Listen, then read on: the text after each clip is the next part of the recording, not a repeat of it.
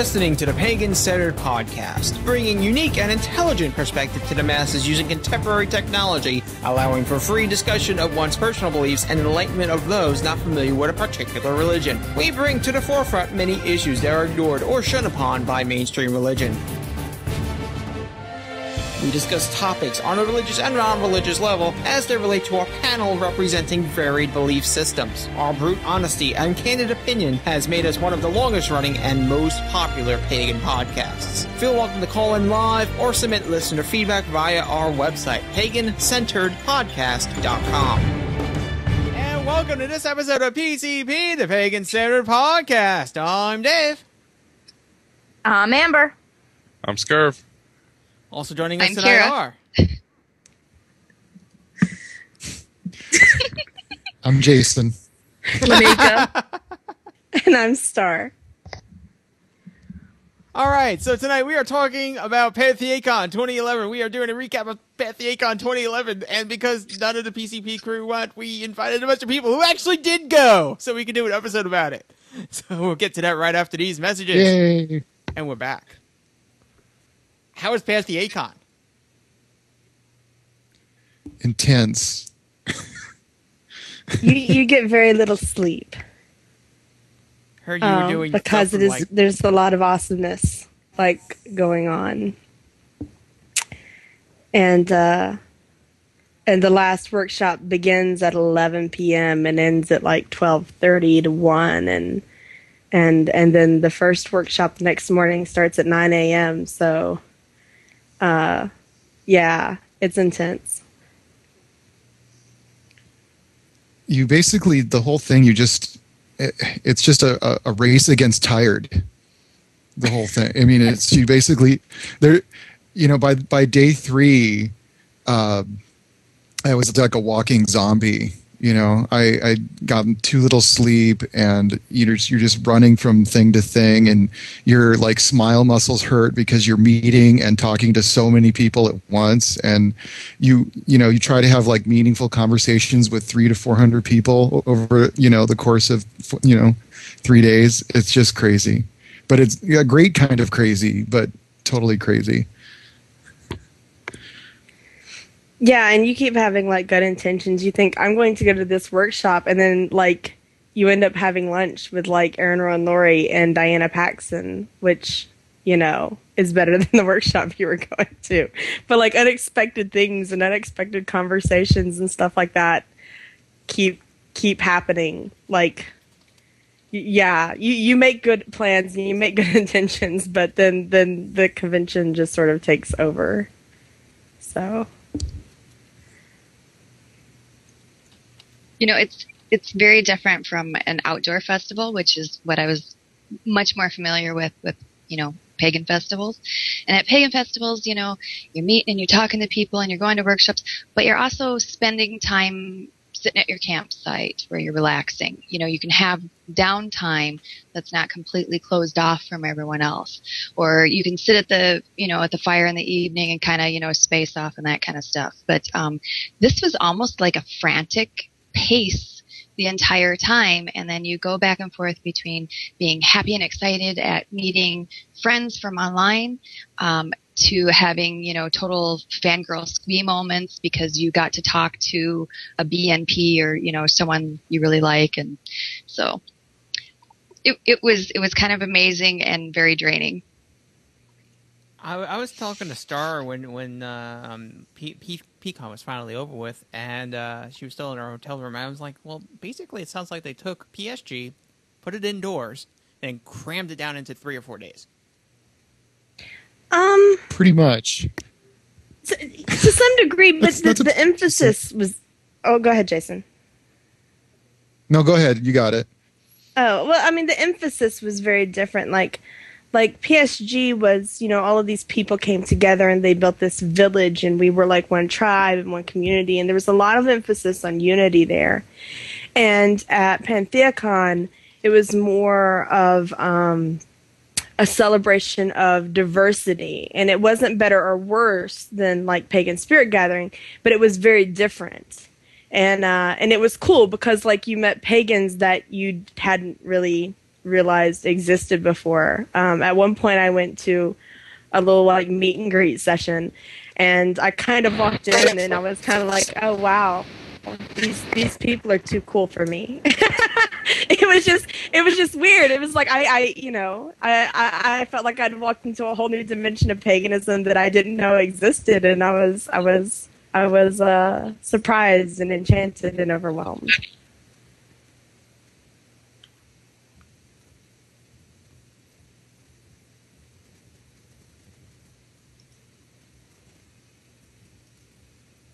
Did you guys have moments where you know you did get to meet somebody that you would, you know, never thought that you'd meet in your life? You know, um, an author or a, a speaker or something like that. Yes, I got to meet Margot Adler, which was fucking rocks, and it was really awesome because uh, I have I have uh, met a lot of you know big name pagans since I started going to events and stuff like that. And uh, I think the the one big name pagan who I, I still kind of get a little bit like little fan girlish over is probably Margot Adler. So I was very happy to actually meet her and like chat with her a little bit. And I was super honored that she showed up to uh, the PNC meet and greet.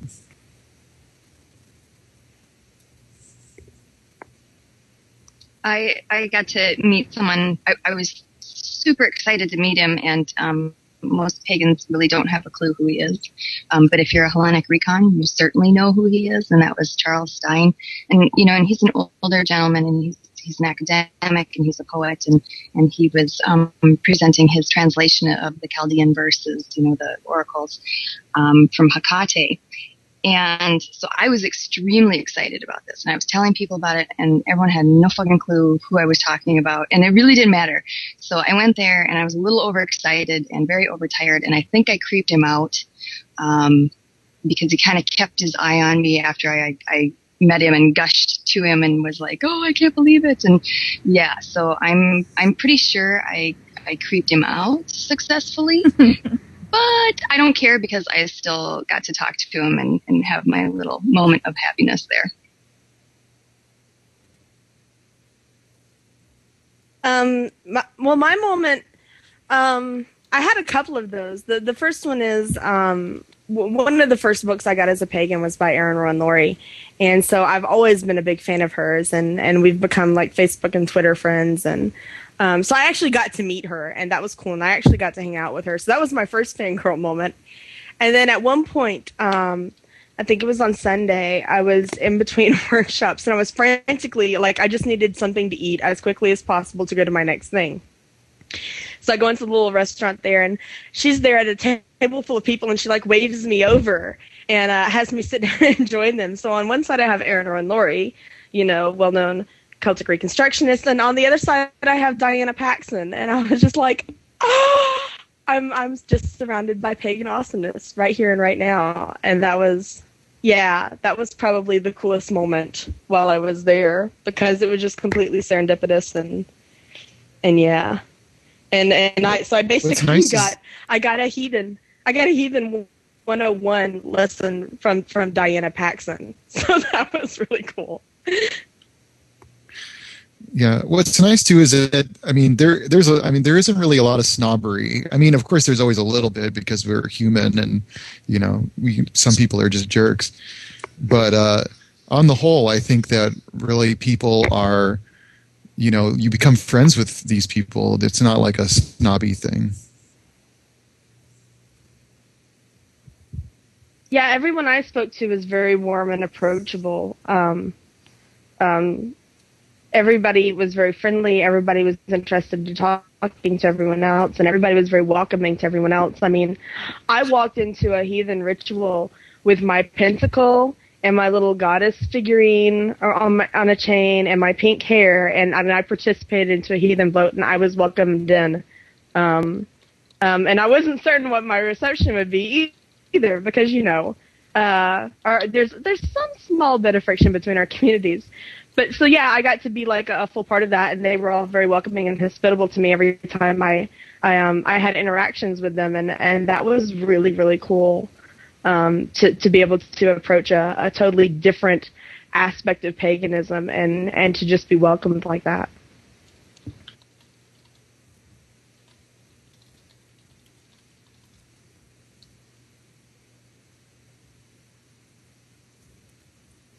Do we all want to switch over to me hosting this call?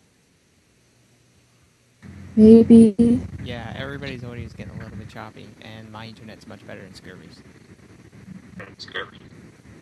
Hey. Okay, okay works yeah. for me. I'm going to hang up with everyone, and I'm going to con- I'm going to dial you all back really quick. Hang on. Okay.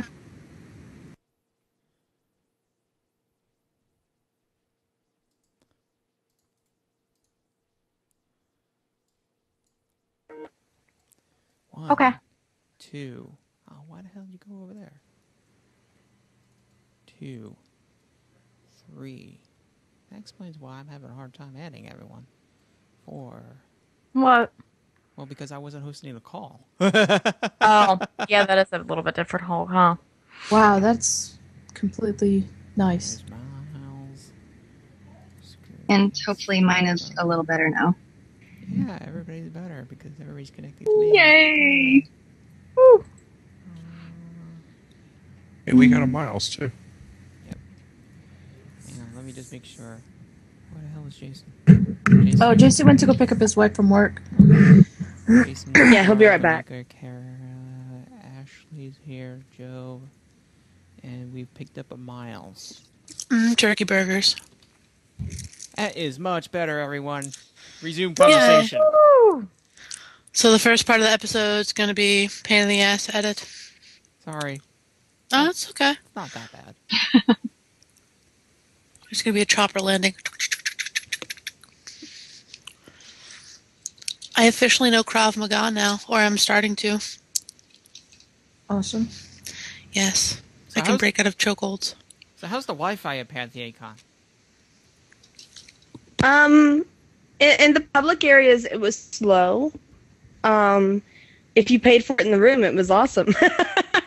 but in the in the public areas, it was slow, and it was also hard to when you had a moment free. That was generally when everyone else had a moment free, so it was hard to grab a table where you can sit and and do your thing. And and of course, the danger of, of taking your laptop down to the to the lobby area to sit and and try to uh, to get online and and do some things is that once again you get drawn into amazing conversations. I uh, I, I, I sat down to try to try to check my email and ended up in an absolutely fascinating conversation with someone from the board of directors of Cherry Hill Seminary.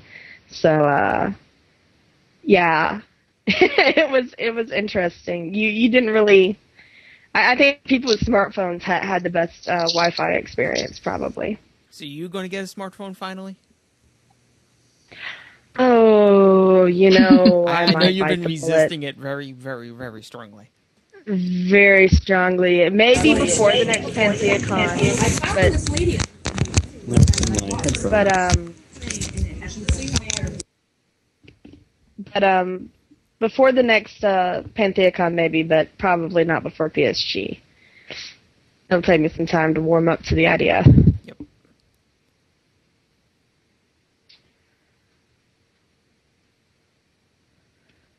So what are hospitality rooms?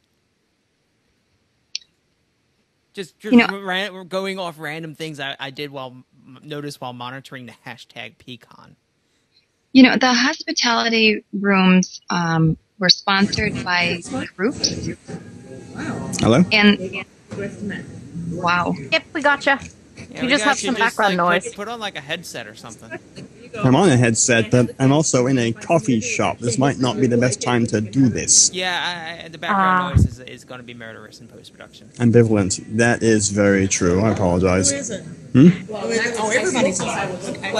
So, I shall lapse on this one. Okay. Thank you, See you next everyone. week. But I'll We still love you. Absolutely. Thank you so much. You too. Bye, Miles. And call. There you go. wow. Okay. Random interruptions tonight. This is what happens when you have 15 people on an episode. The you were asking about hospitality suite. Yep. um, you know, they were sponsored by groups, and it was a way for them to um, have a place for their members to meet up. Um, but it was also a place for people who are interested about those groups to kind of go there and find out more information. And a lot of times they were set up to um, be really receptive to people just kind of wandering in and saying, "What are you about? Can I get more information?" Um, many of them had drinks there. They had some food there. It just depended on the group. Um, that was during the day. During the evening, some of them then would have some pretty whipping parties. So, you know, you could you could take your pick as to what you wanted to experience with the hospitality room. Yeah, I, I think I visited three of them. Um, I visited the COG NWC Narugd. Um, I, I can't remember the, the that exact acronym, but it was like Narugd. Um, um, and they were all very, very nice and very welcoming, and they, they allowed us to have the PNC meet and greet there.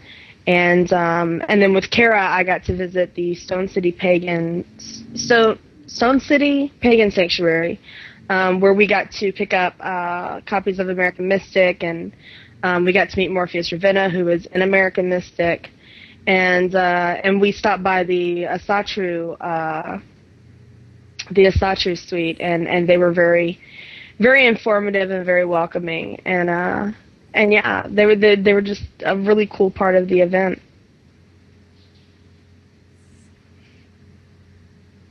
when when we went and went to the Stone City, um, a lot of people were you know going there and they were going there to meet the director, Alex Mar, or they were going there to to meet Morpheus, who was in it, or that kind of stuff. But I was really interested in meeting Morpheus's husband Shannon because we've been Facebook friends for a number of years. And so it was another one of those cases where you just wanted to put a face to a name and, and finally meet someone face to face. So it was it was kind of interesting how you could go somewhere with a group of people and go to the same thing, but you were all getting something different out of it. Yeah, that was that was really interesting. There was a lot of that where you met people that you knew on Facebook, um, yep. and uh, yeah, yes. it, it, was it, was it was funny because uh, you know I, I dyed my hair pink before the event just to make sure that people who were looking for me would recognize me. And the very first person who came up to me, you know, all excited and everything, I thought they recognized me, but no, they just thought that my hair was really cool. And uh it was funny. So so thankfully I didn't say anything egomaniacal like, you know I was I was nice and then and then when I realized that they didn't actually know who I was, I was you know, I, I had that saving grace. But uh, well, at least you didn't whip yeah, out your I got, pen and say, "Here's my autograph." Right? Let me sign your boob. exactly. Nice. um, yeah. So, uh, and it was cool because we got to meet some of the, the PNC members that we had con- corresponded with. Cosette from Florida, and um, Lily and Greg from the Bay Area, and David from Sacramento, and uh, seems like there was someone else there.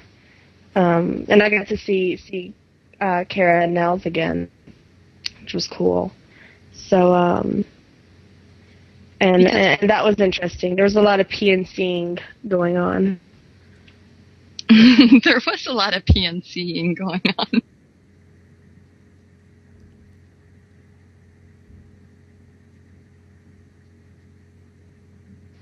Um, it was actually kind of cool. We had our meet and greet at the Cog Suite and um, which was more than just cog, but but that's the easiest way to say it. Um, and uh, so you know, we didn't know who was going to show up or anything, and we got there a little bit early to help set up and stuff, and and so you know, nobody important showed up, just the the PantheaCon coordinator and Selena Fox and Margot Adler and Emma Nightmare, um, Andras. Um, Oh, and I know Peter Dybing was there uh, from COG, and it seems like there were a couple of other important people there. But yeah, that was a little that was a little awe-inspiring. Um, but uh, but it was cool. I, I I think it went it went well. It was kind of funny to see some of the generational differences as far as news goes. How so? Hello. well, well, when it was interesting people's attitude towards the concept of doing the news, like reporting your local community news, um, because and, and you could see it kind of along a generational split. Um, some people who had been in paganism for a number of years, and of course they had come in it in the beginning, and they still vividly remembered um, some pretty horrific stories of personal persecution due to people knowing that they're a pagan. Um, they were a lot more a lot more leery about it, a lot more cautious. They wanted to know a lot more about privacy protections and things like that. You know, really what they wanted to know is you're not going to inadvertently out someone and oh my god, are there people really you know willing to do this and have their name out there and be out there uh, and have you do a news story on them? How can they risk it? So there was a little of that. Um, however, once you once you got to about like age 40 and below, people were like, oh, well, yeah, you know, of course. So it, it was interesting that divide. And then I think it has to do with, um, just, you know, society's change in how they see pagans. Um, you know, for the most part, now we get people that might say something to you. You might have some, some job issues and things like that. But the stories of people having their windows broken and that type of thing are, are far fewer than it was at the at the beginning, you know, like in the 60s and 70s and things like that. Mm-hmm. It, it, was interesting too, because there were there were two elders there who did have experiences with the PNC. Um, one was Selena Fox, um, who uh, has graciously invited us to come back to Pagan Spirit Gathering, and the other one was Andras, who was part of the Pagans at the Parliament Project for the Parliament of the World's Religions. Um, so it was interesting to hear them talk about their uh, their different experiences with the with the PNC, um, and uh, and and it was interesting. Some of the some of the elders who were who were there visiting and and, hearing what we had to say had their own stories about other pagan news uh, efforts uh, from the past, like newsletters and magazines and that sort of thing. So um, so so that was interesting. Um, and uh, and and it was just it was just insanely cool to have Margot Adler, you know, sitting there front and center. Um, I don't know about the rest of the PNC folks, but that made me extremely nervous because, like like many people, I you know, she uh, she's awesome. I listen to her on NPR, and I've I've read you know, the very latest edition of Drawing Down the Moon to catch her latest insights in the group she's tracked. So that was uh that was cool. That that really made it that really made it seem like what we were doing was interesting because Margot Adler was interested in what we were doing. Well, it is a bit daunting to have someone like that listening to you when you're talking about your fledgling news efforts. And most of us, you know, are not we're not professional journalists, you know, so we're we're kind of figuring this out as we go along. And you know, some of our efforts are better and some aren't, and we're trying to learn from each experience. So um, it's it's like you know having having the hot guy at school see you with braces and no makeup and your hair looking like shit, but promising that you're going to look really good soon. I swear I get breasts one day. Just stick around. I've been saying that for, you know, almost 30 years. um, but yeah, that was really cool. The panel was interesting. Jason's not here, so I'm going to talk about him. Um, we we kind of thought that the the whole introduction to the PNC thing, which was at 9 a.m. on Sunday morning, so our, our turnout was not as good as it could have been. We had this huge section of ballroom, um, and and you know we did not quite fill that at 9 a.m. on a Sunday morning after people had been up partying Saturday night. And uh and so we kind of thought that Jason was going to get there and talk and do his thing, and he he might point us out in the audience and have us like stand up and wave. No, he pulled us all up there and had us talk. So there was like one, two, three, four, five, six, seven. Yeah, there were other than Jason, there were seven PNC members up on the uh, on the the stage, and and I think I think we got some credibility because we talked not just about our our successes, but we also talked about places where we had stumbled and and had to sort of figure out what we were doing again.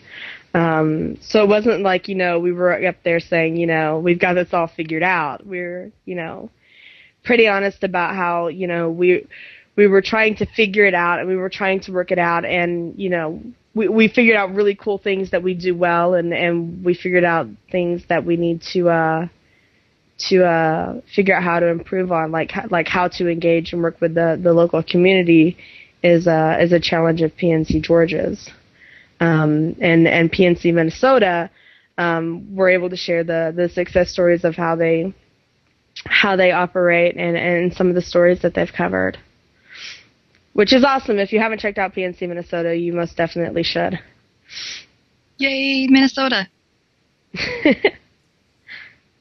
it's all the Germans and Scandinavians here. We're very orderly people.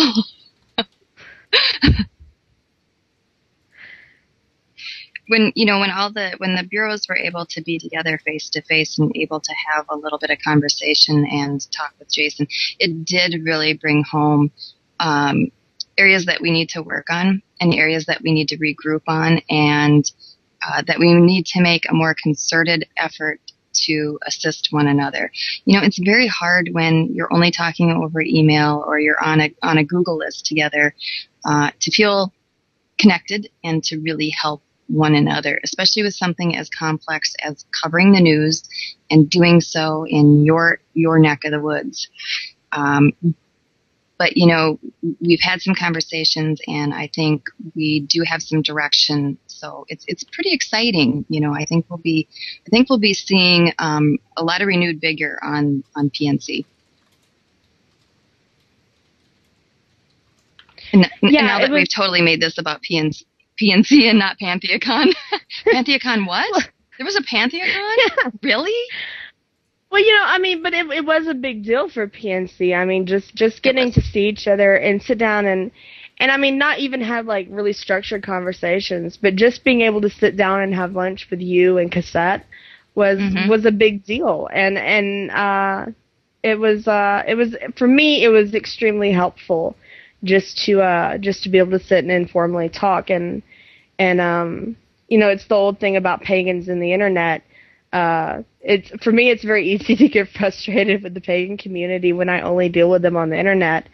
And then we go to a, a, festival or something like that and, and we see each other face to face and suddenly you know I, I fall in love with my, my community and my tribe all over again. So it was it was great. We were just talking about you Jason and about how we uh how you You're pulled us up on I say that out loud? how you pulled us up on stage at the introduction to the PNC, and, and we were not expecting that. yeah, like I said, that I- you're a dick. Oh, I warned I warned everybody that that could happen. You know, I actually I I think that you're just misremembering what I told you. That's all. Now, now you just want to call me a dick for no reason. See so now. this is, this is why we There's always a record shit. So, so Oh, I remember uh, a very, very impassioned rant by a certain person in the PNC about pagan organizations should contact the pagan news when something is going on, so that the pagan news can cover it instead of, you know, pagan news reaching out and being like, "I heard you had news," and. This is a very impassioned subject. They even wound up on an episode of PCP here. And this is your grand website launch. This this has been led up to for two years now. The PNC website launch. Guess the one thing that's not on the PNC website.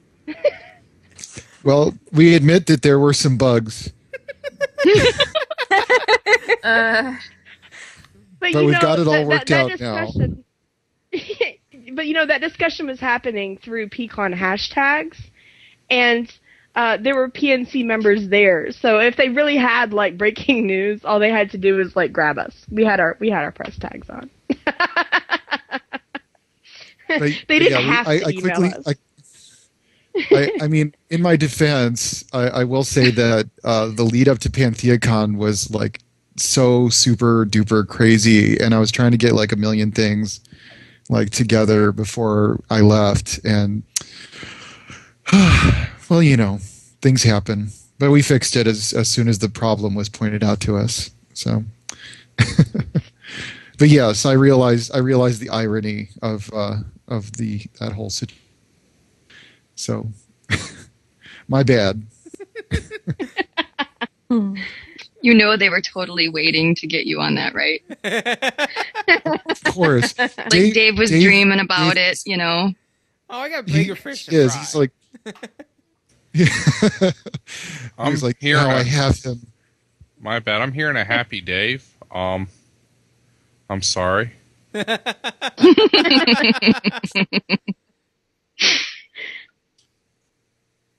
Oh man. So where? Yeah. Let's see. Oh, so, so were we this talking? has turned into PNC, the podcast, what the hell is the PNC up to nowadays?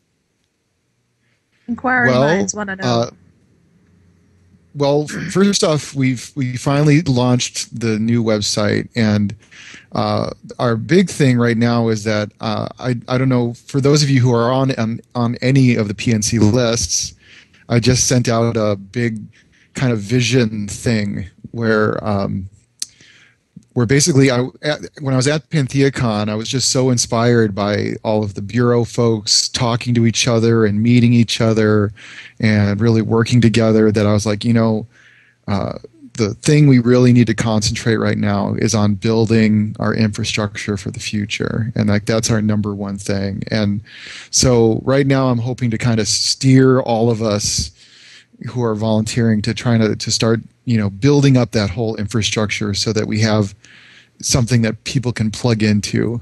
Because I think that's been one of our big failings so far is that you know I mean obviously we're we're very young we're a very young group. And but I think that um, you know I think the if we keep building up the bureau structure I think we can really start to actually do some great work and so so I basically wanted to shift make sure that we're all just focusing on that right now. So that's kind of my that's where I think we we are right now. That's my thought but Star and and Cara can chime in on that too.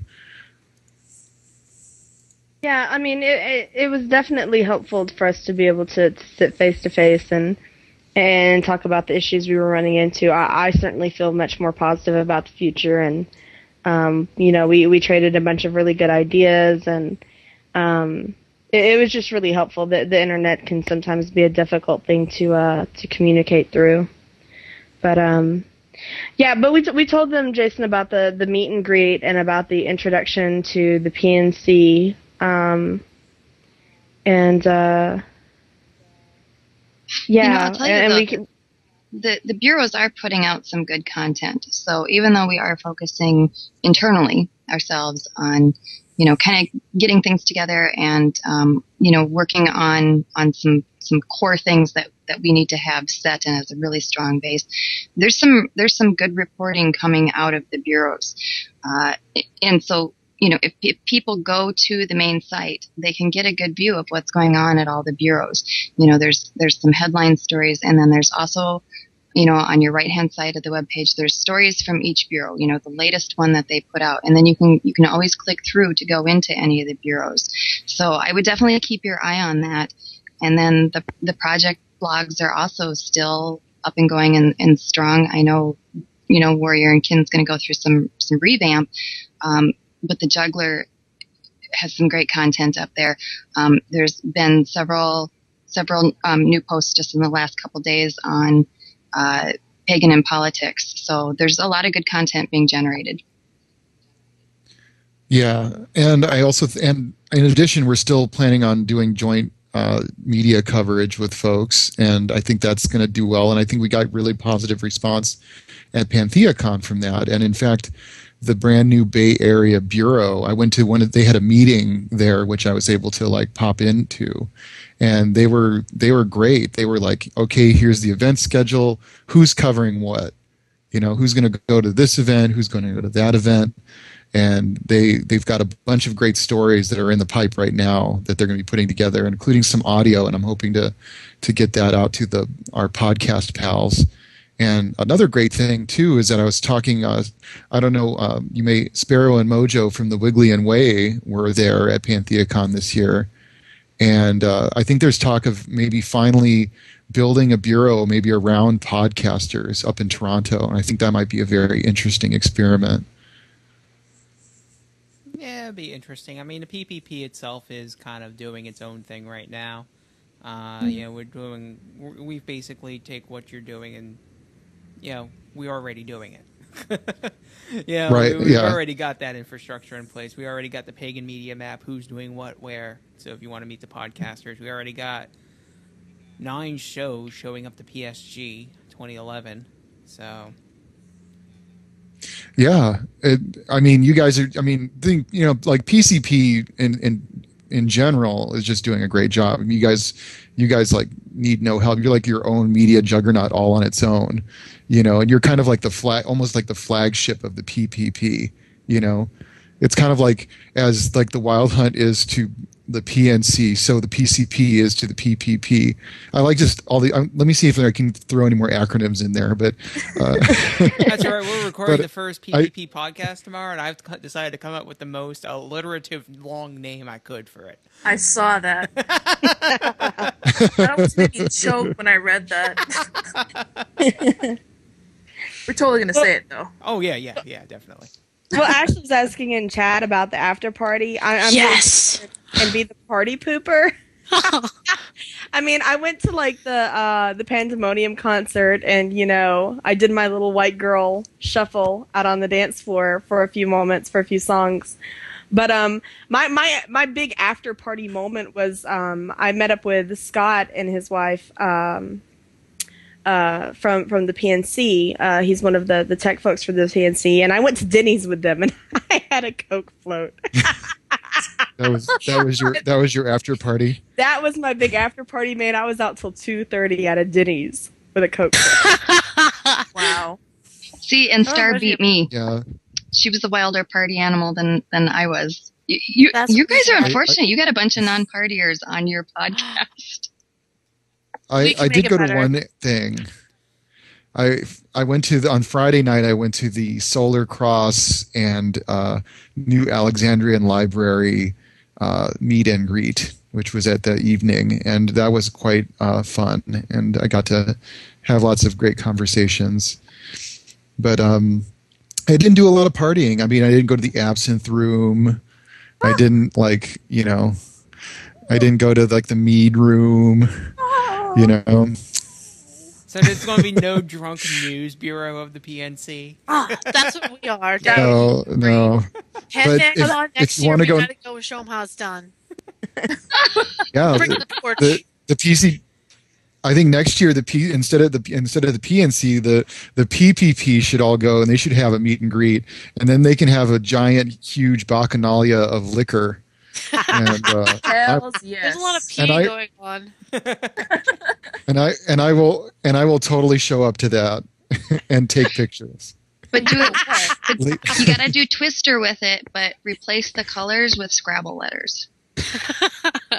no ways. You know what? Since most of us are going to PSG now, I may not bring a tent, but I swear I will bring at least three or four bottles of different kinds of liquor. Yeah, like Somebody just bar. bring mixers Oh, I'll bring cocktails there. and a Twister. I, I, I mix a mean cocktail. she does. She made this like elderflower thing that had a lot more vodka than I realized while I was drinking it. That Yeah, was she was like, good. "Woo!" and I'm like, And then- "There's three shots of vodka in there." Oh yeah. for- Speaking of partiers, for those of you who will wind up on the Outer Banks for Beltane, we are having a small little party out there. We got a little uh, powwow going on, and two thousand people are showing up. And uh, you want to get get some after hours action? Go to Amber's porch, which is literally across the street. Yep. Don't worry, just ask who Amber is, and everybody will know. you know, since we're we're talking about alcohol at at PantheaCon, I I got to go to the um to the Troth blot uh uh honoring Wayland the Smith. Did you Um, leave bloated? No, but uh, they they had they had brought their own homebrew to Wow. to place in the horn, and uh, you know they they passed the horn and you you you toast and then you sip. And when i sipped it, it was good. It was very tasty. And uh, if i did not think that you know a bunch of very burly norsemen would take issue with with me i, I would not have given that horn back. It was it was good stuff. They make good homebrew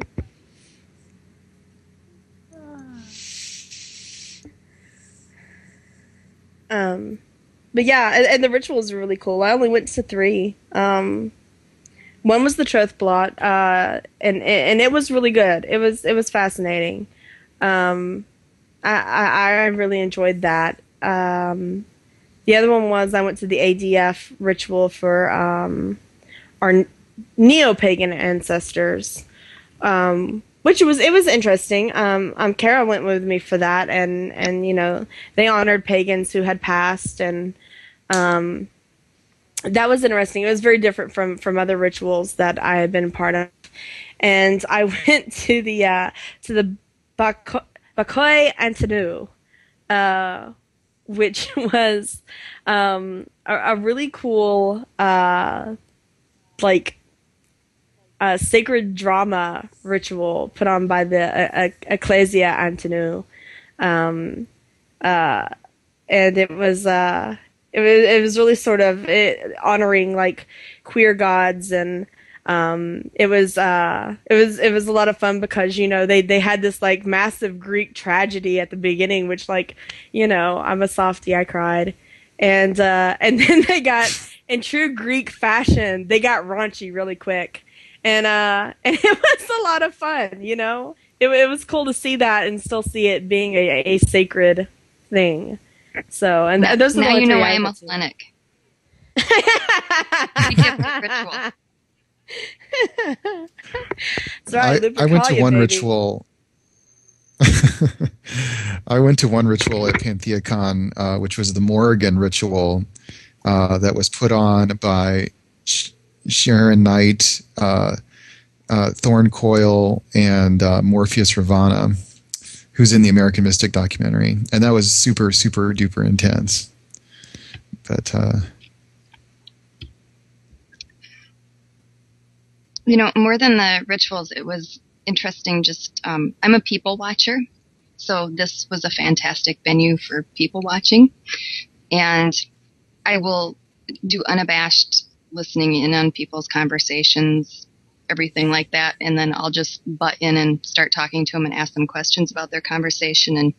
Um, most of the time, people react well to that. Sometimes not, not so well. Kind of like, um, and you are. uh, but it was just really interesting watching different groups and people interact and watching people's reactions to what was happening and what they talked about and what they took from it. And then listening to another group talk about the exact same thing, but seeing it completely differently. So that's, that was extremely fascinating to me. And I got to do that like for four days. So I was in heaven for that. Yeah, there was. I mean, like visually, that was the most interesting pagan I, event I went to, because you know you had the people like me who are semi-normal looking. Um, when I, at least when I don't have pink hair. Um, uh, but a little on the granola side, and and you've got the the full out bohemian sequins and tie dye pagans, and you've got the goths, and you've got the the Norse guys and their kilts, and they've got their black t-shirts with runes all over them, and and then you have uh uh you know these really interesting uh, uh transgendered pagans who have like really amazing costumes and corsets and everything that are very elaborate. And and then you have and the weirdest thing of all like you know is that then you see these pagans who are wearing suits and cowboy boots and, and they look like they look completely different from everyone else in the place and so it, it it's sort of funny that it's the people in the suits that tended to stand out more and uh i find that i found that kind of funny but they were delightful people Oh, sure. Now I know how you really feel about me, Star. well let's face it Screw you, chick. you did did you guys see the remember the uh, did you guys see the the t-shirts from the metal band the pagan metal band Hawk? Yes. Uh, uh, they had the burn the burn Rome t-shirts. Yeah. yeah, I did. That's awesome. They're they're a heath they're a heathen metal band. So it made me think that uh, it reminded me of the old joke: uh, "If you're so goth, where were you when we sacked Rome?" But Nice. Yeah, there were there were there were a lot of interesting T-shirts, um, and there was a really interesting man named Bubbles who had a very large nose ring, and he was going around blowing bubbles at people. And that's as far as I know, that's all he did the entire weekend, and it was fabulous. With a And, very uh, straight face. he, he, is, Yes, he, was very assaulted me with serious about bubbles. it. Yeah. Yeah. Yeah. and then it was really cool because you saw so many BNPs like buzzing about. You know, there was Oberon Zell in his full wizard robes going here and there. And um, every time I saw Z Budapest, she was like hurrying to something or other and waving at people and hugging people and just very happy in general. And, um, and yeah, so that was really cool that you saw so many people that you, that you recognized. Uh, and you know they were out and about and chatting with folks and and very approachable and uh and and that was cool it, was sort of surreal when when someone who's like books you have read for years um just sort of wanders by and like waves and smiles and you know like it's you know it's normal for for you to know their greatness or you see a whole table of elders sitting down having breakfast together. You know, Yeah. Well, you know, Peter Dybing isn't isn't here right now, but he was telling me that at one point he was in the Cog Suite, and he said that it was like Selena Fox and Starhawk and Margot Adler and. Macha NightMare, and he said that they were literally sitting there talking about the day they reclaimed witchcraft. Because they were all there, and he was like, "That was just a very uh, uh, surreal moment." I said they should put it to music, like the song "The Day the Music Died," and I Nice. could create this whole nice song, and we could do a little video to it, right? yeah, yeah, think that would be joking- I was amazingly joking epic. some- yeah, I was joking that some of the Celtic Reconstructionists put together the Pantheacon triads. that would be sweet. That would be funny. Well, there, there was one song that I'm trying to convince uh, the the uh, Ekklesia Antinoou to put together. They, um, as part of their ritual, they took Lady Gaga's Alejandro. Only they made it Hadriane, Hadriane, Ave Hadriane, Ave Hadriane. It was really cute. It was really, really cute. And and so that's become my new quest. Is I want that song, re, re, that parody recorded and and put on YouTube. So To the Questmobile! ba ba ba ba. Ba-da-da-da-da-da-da. So um, that was really that was fun. But seriously, I mean, the best part of the event was just these random conversations that you would get drawn into and the interesting people you would meet. I met a woman who works for Current TV, and she was giving me the lowdown on the you know the the sort of the Olbermann deal and and how he's going to fit into the organization, and that was just kind of cool. And I met a lady who is reconstructing um, the original Judaism in its original polytheistic form. And that was just sort of mind blowing to me. I, I didn't even know anybody out there was doing that. And uh, so it was just the people that you just struck up conversations with while you were standing in line or eating lunch or or waiting for a workshop to start that that was really sort of the best part of the whole experience. Can can I do a, a like a festival and con PSA that is so important? We have to get the word out on this. You need People to give out free deodorant? take a fucking shower. What is wrong? How? Tell the elevator story, Oh my please. God. Uh-oh. Okay, you know, you get crammed in the elevator. It's a con. Lots of people crammed in the elevator, right? So I'm crammed in the elevator in the back. And I am at armpit level with this gentleman to my left. And he smells like, I mean, he would put a goat to shame. It was horrendous. So I'm standing there and I'm just thinking, please let this ride be over. And he looks down at me and he goes, Oh, are allergies kind of getting you? Because he was eye wateringly smelly. And I looked up at him and, you know, I can be blunt at times. I know it's a shock, but it happens. And so I said to him, uh, no, you just smell so bad. You need to bathe. You know, you're killing me. you know, and kind of kind of laughed, and other people kind of laughed. I'm like, no, seriously, dude. You know, like we have these showers, you know, right in your room, and they have soaps and shampoos. You paid for them; they're free.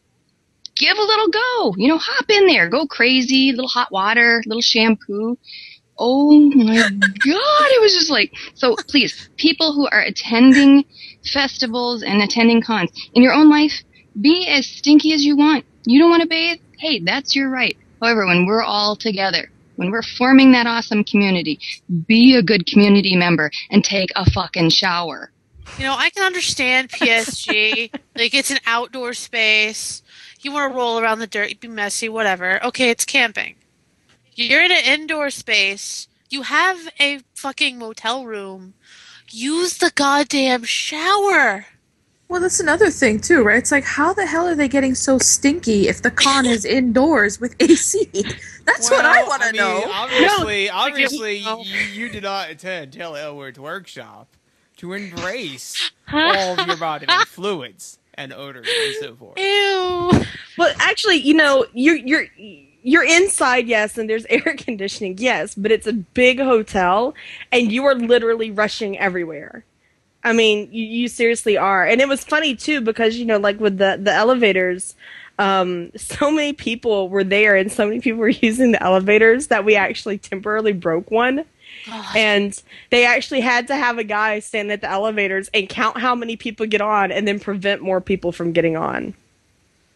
Um, because the uh, the whole uh, th- there were just so many people there. And, and they uh, four elevators were simply not enough for all the people that were there. Wow. So I mean, I was rushing around and everything, and by the end of the day, I I definitely felt sweaty and stinky. But you know, I made sure to use deodorant because I was rooming with Cara, and Somehow and I I, don't wanted think to be you need nice. somebody's my water. no, probably not. Maybe I said something that that that made their eyes. um, uh, because because I had the the surprise PNC introduction that that that Jason called us up for, which was fun. And uh, and then I was on one of Jason's panels where where he he decided to dispense with the easy questions, so that was fun. Um, um, oh, but the the coolest thing, other than Jason throwing surprise questions at people, um, which was fun, uh, the really the coolest thing that that happened while I was there was the Hindu American Foundation was there, and they had uh, a, a panel, a couple of different panels, and they had uh, a ritual, and they were there doing sort of outreach. Um, to to work with pagans for uh, religious rights activism and, and for education, and and that was really interesting. You know, uh, I went to the the uh, panel that was called um, that was called uh, our, our Hindus pagan and our pagans Hindu, and I thought, you know, with a title like that, this could go any number of directions. I was like, this could be really good. This could be really bad. Either way, it's going to be interesting. And um, so I went there, and it was really, really fascinating. They, uh, you know, they started off giving just like a brief, brief overview of Hinduism and talking about the commonalities between our two movements, and um, talking about the the challenges that they face with um, uh, forced conversion and and coercion. Um, in, in, in India and um, and their challenges with uh, maintaining their their traditional re- uh, culture and religion while they're here in the U.S. Uh, for people who have immigrated here, and then they opened up to questions, and and some of the the questions and the answers to the questions were fascinating. The the most fascinating one was someone stood up and said that you know their I think it was either their grandfather or their great grandfather had been Native American and had been forced to go into the boarding schools and had lost a lot of their culture um, through through forced conversion and, and, and indoctrination. And uh, so she said that you know for her family the issue of cultural appropriation was huge, and she wanted to know how they felt about pagans uh, working with worshiping, praying to, reverencing um, Hindu gods, and uh, the Same question I would have. and their response um, was was really quite quite fascinating. They said that if you're not commercially making money off of our religion, then we embrace you. Uh, of course, we want you to pray to Ganesha, you know, um, and and, I, and that was sort of fascinating to me that that they were they genuinely felt that our our our, our two uh, groups had a lot in common and that we we had a lot that we could do for each other and help each other. Um, because if I'm right, at at current uh, at current estimates, we outnumber Hindus in the United States. I, I think. I think because Actually, is that they're right, a little Jason? bigger than us. Are they're they? a little bit bigger. Well, I know the conservative number I is one million pagans, but then I, I've recently heard that that sort of um, may be a very low number. I don't. You know more about that than I, mean, do. prob- well, I mean, I guess it's just it's all a guessing game, right? Because they don't we don't do census uh, with the and the census in America in the United States doesn't like list religion. So, uh, I mean, according to census data, there's between there's like maybe there's like around two two point five million Hindus in the United States, and there's according to those same numbers there's about a million or so like modern pagans. And that's if you like lump all the pa- pagans together. So i mean i guess it depends on what you how you define pagan. And you know maybe maybe those numbers are are you know a low estimate and there's more pagans. I don't know. Right. it's a it's an ongoing it's an ongoing question but certainly uh, what the the one thing that and in fact i'm going to have on the wild hunt i'm going to have a guest post coming up from Mihir Meghani from the hindu american foundation who ran one of the hindu hindu uh, pagan dialogue sessions and uh, to talk about um, to talk about Hindu pagan dialogue and the things that we have in common and what the future is for Hindus and pagans working together, like politically and uh, and socially. And I I think that there's a lot of optimism, and I think that there's actually there's a lot that the two communities can really help each other out with. Um, so I, I think it's I think it's been very positive. I mean, leaving aside the whole the idea of numbers, if we combine forces, we're we're we're that much bigger, you know, politically speaking. But uh, right. but yeah, it, but yeah, I, I think it, the whole. I mean, I was very excited personally about the Hindu pagan dialogue stuff because first it was just so positive, you know. I mean, I was like, you know, is this going to go bad? Is this going to turn into something? And it just, it was really great. And uh, you know, they were really positive and like they were really happy about pagans like wanting to be down with the Hindus and and vice versa. So I feel good about I, it. I, yeah, I got a chance to, to, to speak to to Mihir um, just briefly, and um, and he he wanted to talk to me about maybe doing some sort of joint thing, giving Hindu and pagan perspectives on issues like pluralism and uh, conversion. So so hopefully I'll be having that conversation with him later this week. So the whole thing was um, was really very positive because that's always been sort of a question, you know that's been out there is do other other indigenous groups consider themselves pagan and we have a reluctance to embrace them um, and but the, the, this particular you know event and this particular Hindu organization was was uh was, was very positive about how how much we have in common and, and how much we have to gain by working together so um yeah. yeah, and, and Cara was telling me that up in um in Minneapolis, St. Paul, that uh that there's actually a lot of uh, cooperation going on between them because uh, they um Uh, especially in the past couple of generations, the Hindu community has really been focusing on creating community centers and, and, and temples. Here in Georgia, we have an absolutely gorgeous temple in Lilburn and it's it's it's beautiful. You know, you're you're going down Jimmy Carter Boulevard, and it's like strip mall and strip mall and strip mall and fast food and fast food and fast food, and this huge white shining stone temple, you know, rises up over the Walgreens, and it's just it's it's gorgeous. So um so so there's a lot I think our our communities could learn from each other too. So yeah, it was exciting.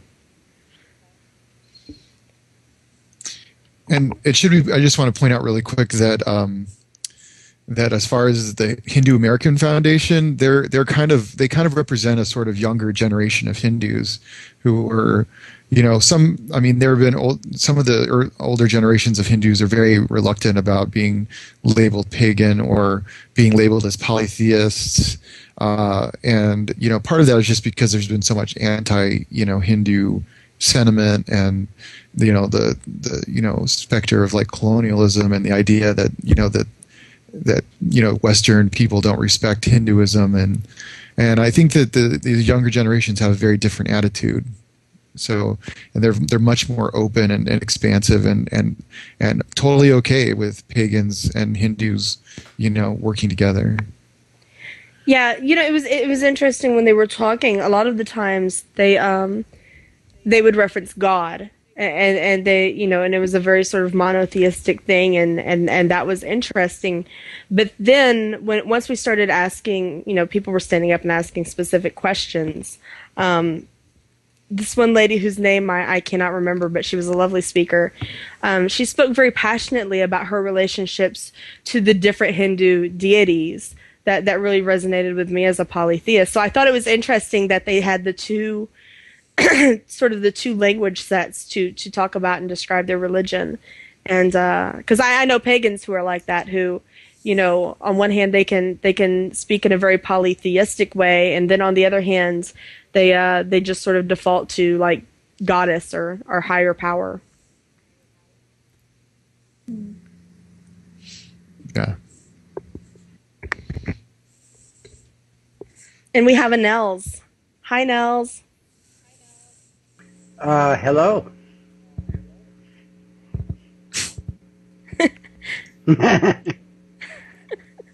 it was good it was good to see you Hello? at PantheaCon. yeah, it was a great experience.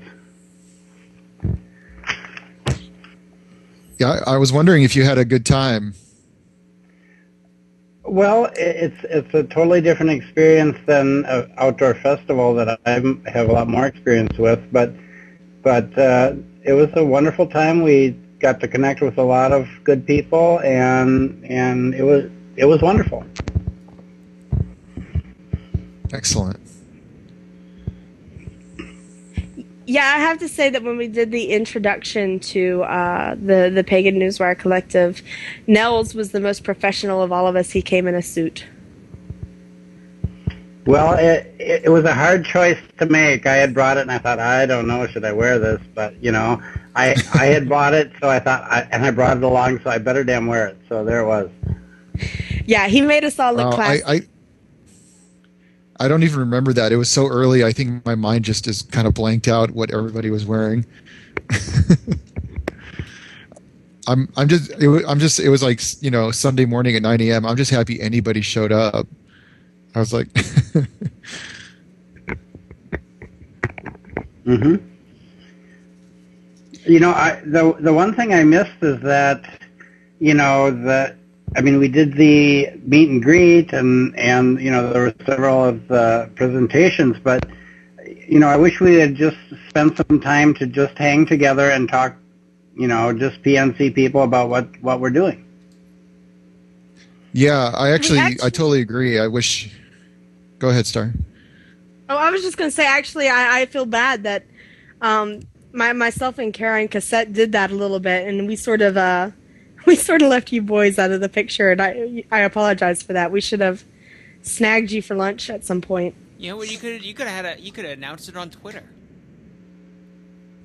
and everybody with their If I'd had a smartphone. yeah, I was going to say if I'd had a smartphone, I totally would have. But I wasn't going to run back upstairs to my laptop just to tweet.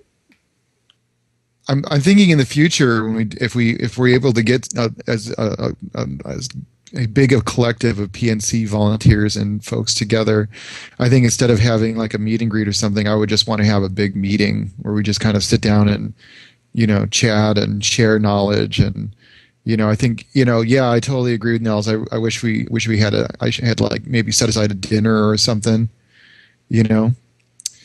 But uh but yeah i mean live and learn. I, I mean pantheacon's energy is so crazy that it's it's easy to get you know just sucked up in the vortex and miss opportunities.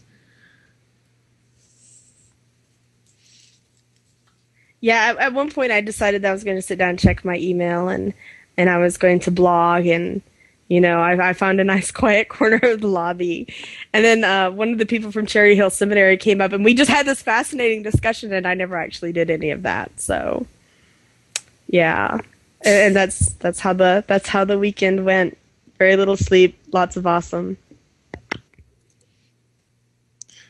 But yeah, if you definitely if you haven't if you haven't been to PantheaCon before, I think I think I think every pagan should experience it at least once because it's it's really different from an outdoor festival, and you know which because you know because often outdoor festivals are like a week long, and they're they're or they're a bit more laid back as far as the energy goes. You know, there's lots of time to just kind of sit around and hang out with people, and uh, you know, and it's it's a different vibe. You know, PantheaCon's much more, you know, stuff happening all at once, everywhere, all the time. You know.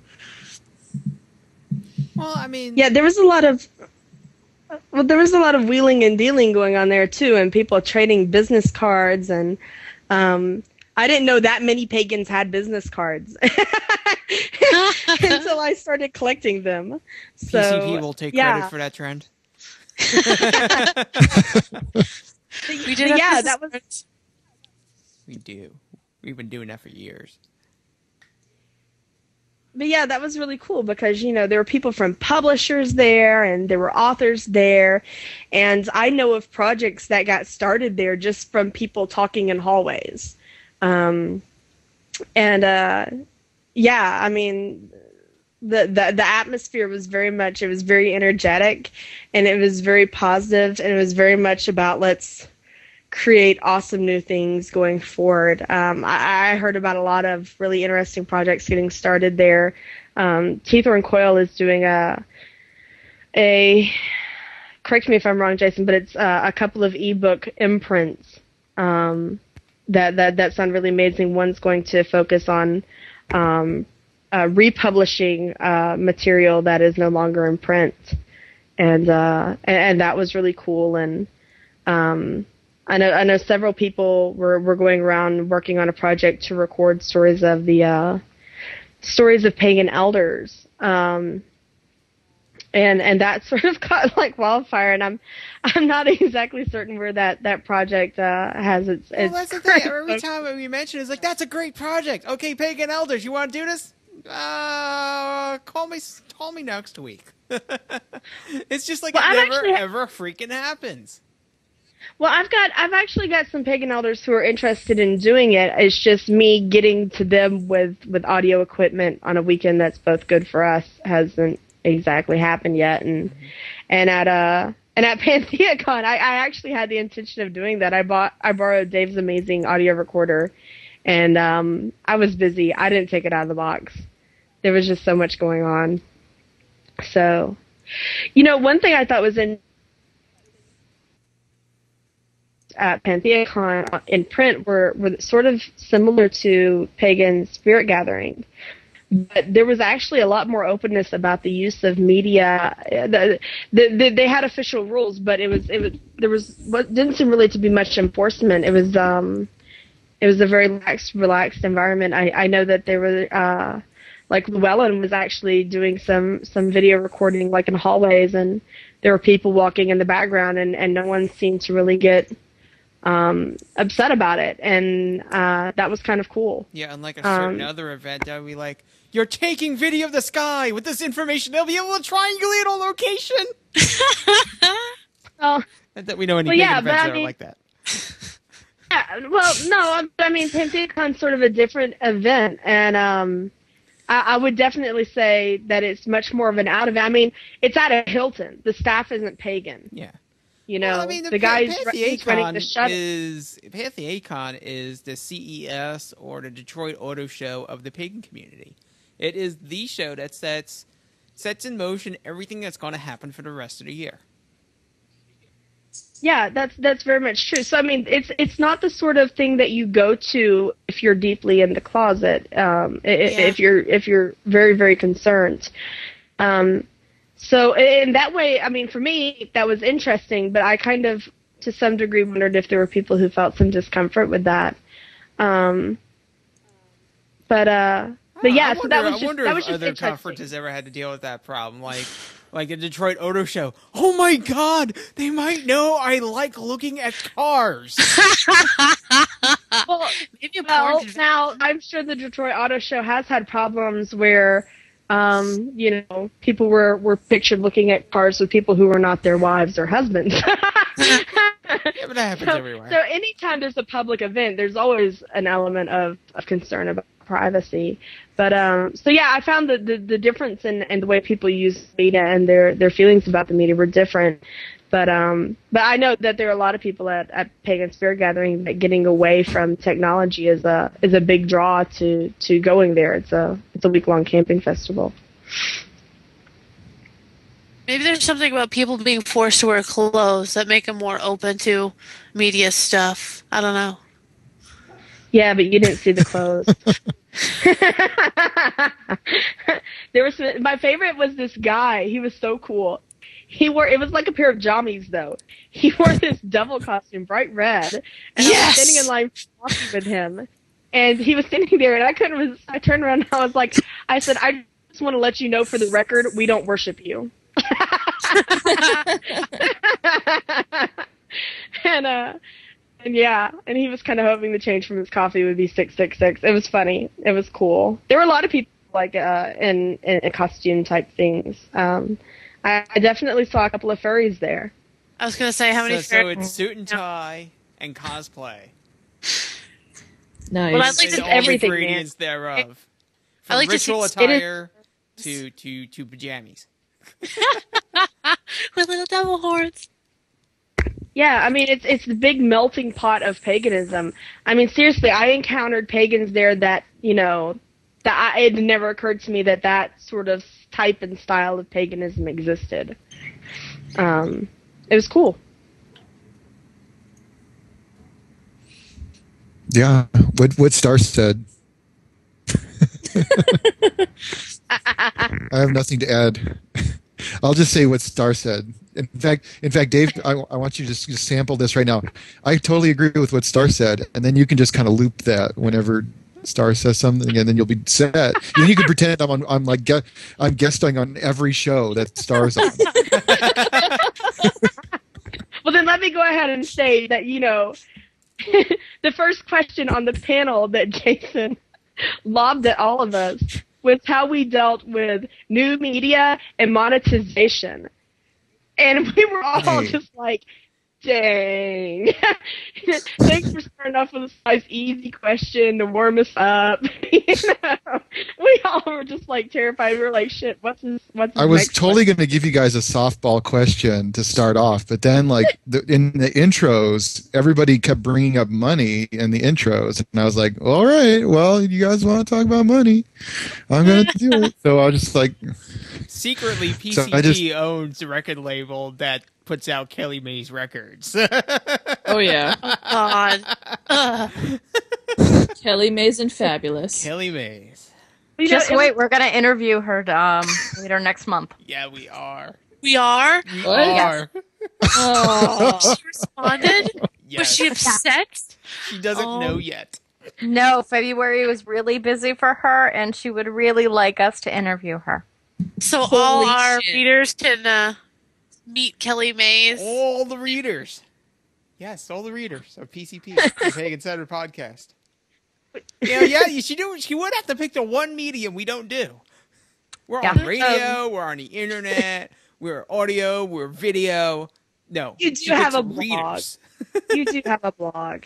Um, but you, actually, it was funny from that that that whole money question. Apparently, I was quoted on Twitter. Someone said that the best uh, quote, quote from that panel was the part where I was like trying to formulate something coherent to say about Jason's question. I was just like, uh, pagans some money. Yeah, it's it's just kind of weird.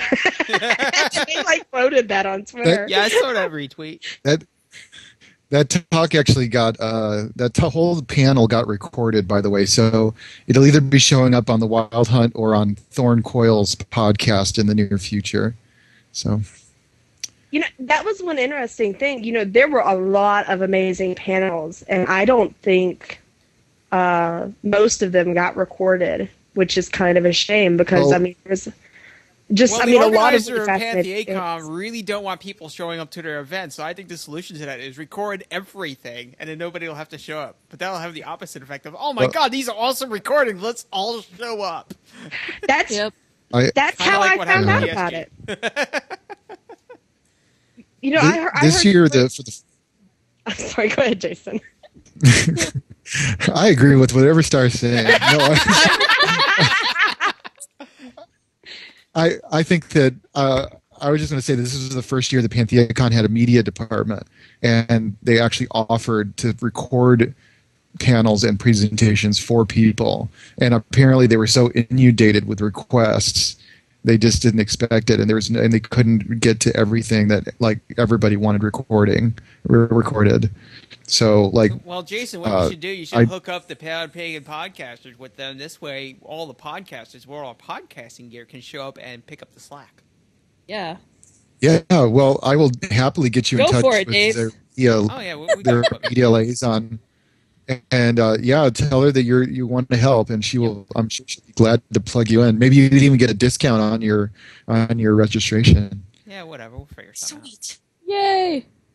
yeah. You know, it's kind of interesting because the, the organizer was looking, and she was mainly concerned because she was afraid of outgrowing the hotel. That that people advertising and talking about the event were, were going to make it grow, and you know, and, and and her solution may in the future be like you know, Dragon Con here in Atlanta eventually just took over five hotels. They just they just kept taking over hotels as they grew. Um, but it was funny that she she kind of expressed some reservations about that because the way I originally learned about PantheaCon is because Jason and and Erynn Rowan Laurie uh, were both tweeting about it, and then Thorn um, had recorded a panel that she was on, and it was on her podcast, and I listened to the podcast, and I was thinking, oh my goodness, she was in a room with all of these amazing authors and leaders that I've heard of, and they were talking about really interesting things, and you know, I definitely have to go to this. So, um, so yeah, I, I think there's definitely more of an incentive to go if you've heard some of the things that go on there, and uh, you know, and, and like I said, most of it, you know, the the panels were amazing, but then a lot of it was just the interaction in between events and and skipping events because you were having an amazing conversation. So, so you just decided not to go to that workshop you had circled in your in your booklet.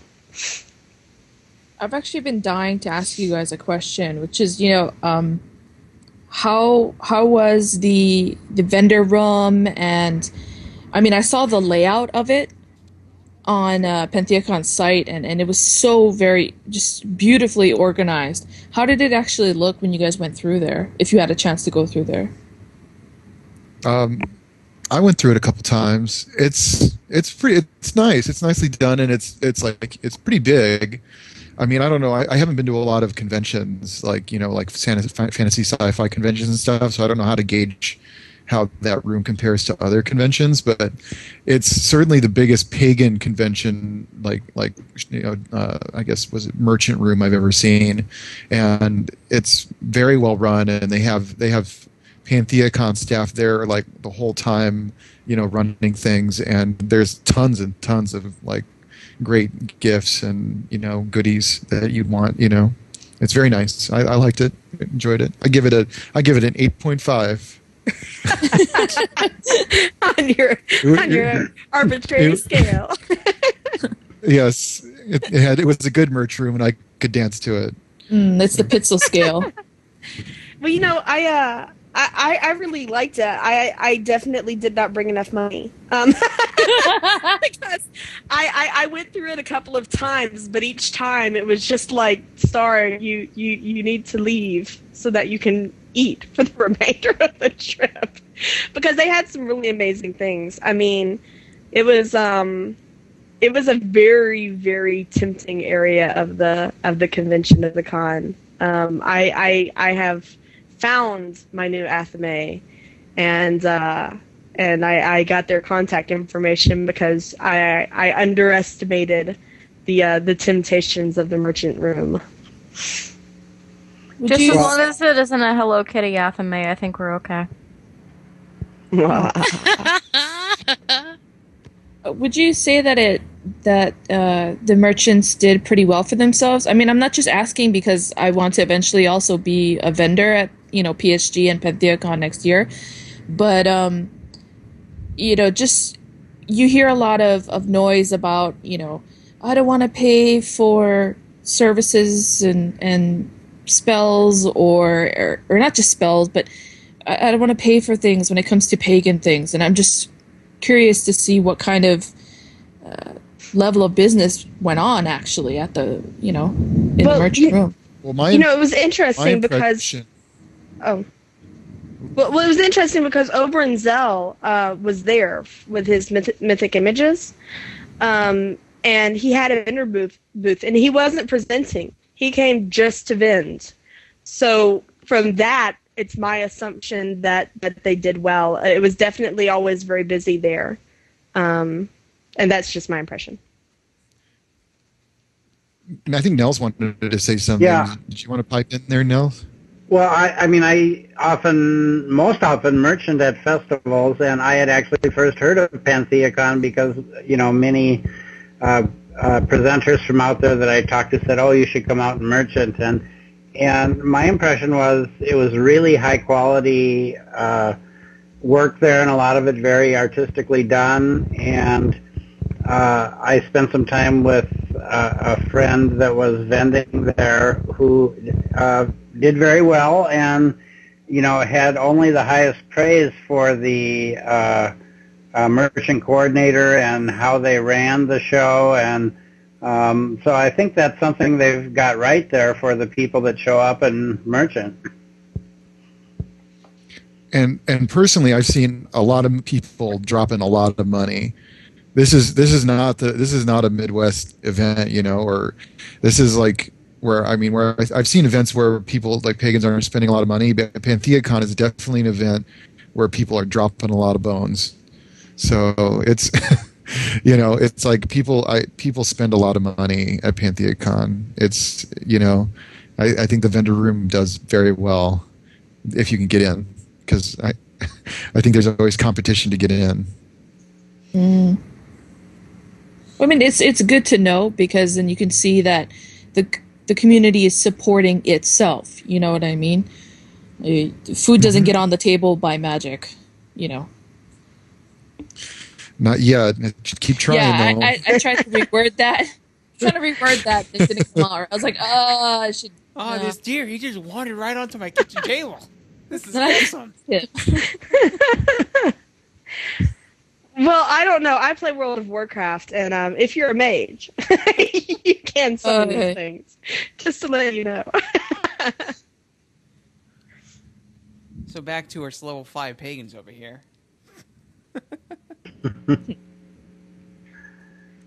so, so now we we talked a little bit about the people we met and workshops we went to. Was there anything that really stood out for you that that you went to?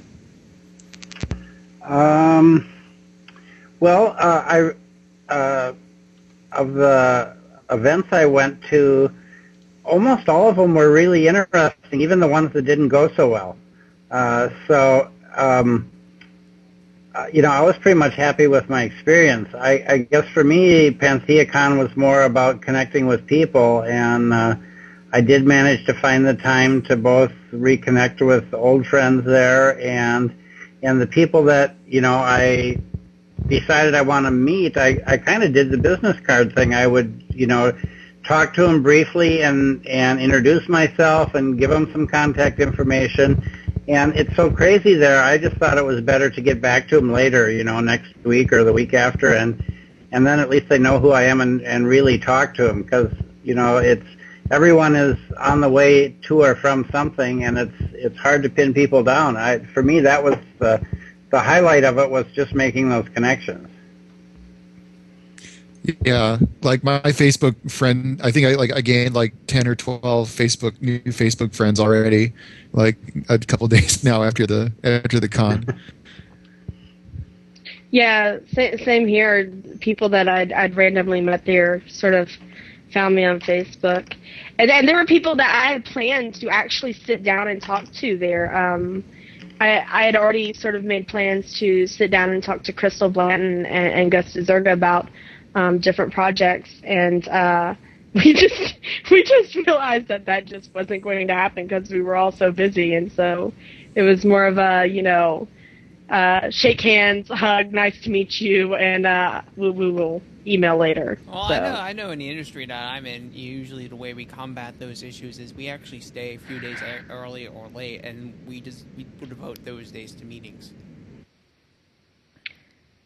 Yeah, Well, yeah, but on on on Sunday evening, people were already starting to leave. So, so Monday things were already sort of getting sparse. I do know Cherry Hill Seminary actually had an event there um, the Thursday before that apparently went really really well. Um, which uh, next year if they have it again, I would like to try to go to that.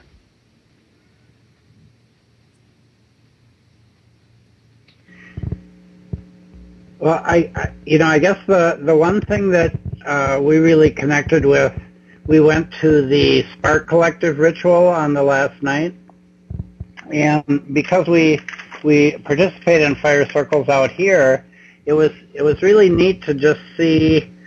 Uh, it was like, oh wow, this is a group that talks the same language, uh, because even though the, the fire circle movement has kind of started out on the west coast and then moved all over the country and morphed and changed and here we were going back to a, a west coast fire circle group it was um, it was just like going home. It was just they they talked the same language they did the same things it was really familiar and that was really nice.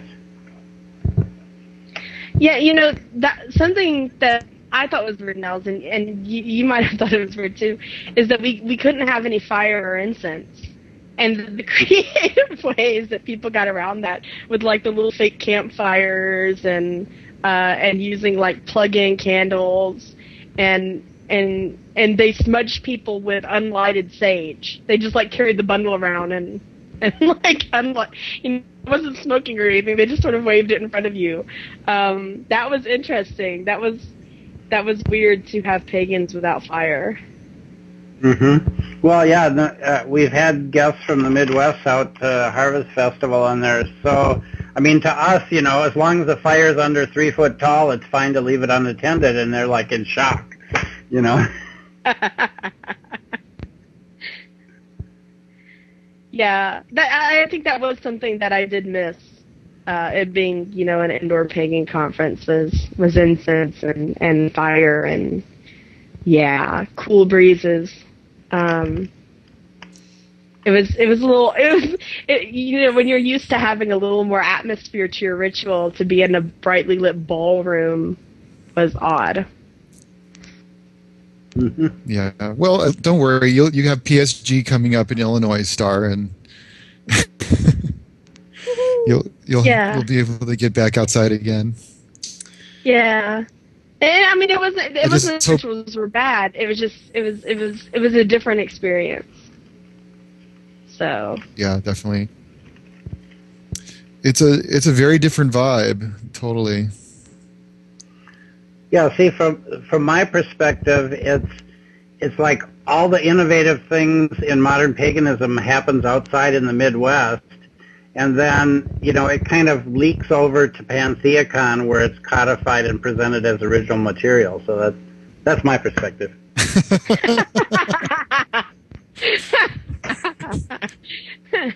so now sort of a sort of a pagan a pagan centric uh, view of, of Yeah, things. paganocentric.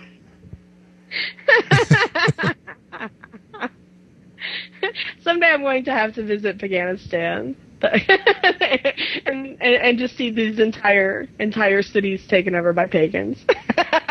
Well, they just they just launched a new indoor fest, the new indoor convention, Paganicon. Yeah, they yeah, who Mhm. is? Yeah, it's coming up in March, and uh, John Michael Greer is their like headliner guest. So it was fun to meet him and uh, and get to talk to him in advance. So and um, Orion Foxwood is is here this weekend. So um, uh, there's a, a little bit of the conferences is is coming to Paganistan in the next month or so. Yeah, very cool. Well, I, I, I really enjoyed PantheaCon. I, I, I didn't quite know what to expect, and uh, and I was very pleasantly surprised and and uh, it, it was very exciting to to be able to sit and uh, get to talk to all of these people that you know I'd only gotten to talk to over the internet. And I, I'm definitely looking forward to going back next year and um, and maybe try to get there a day early and, and catch the Cherry Hill um, event as well next time around if they still have it. Yeah. Well, they usually have it every year, so maybe next year you can go a day early and catch that.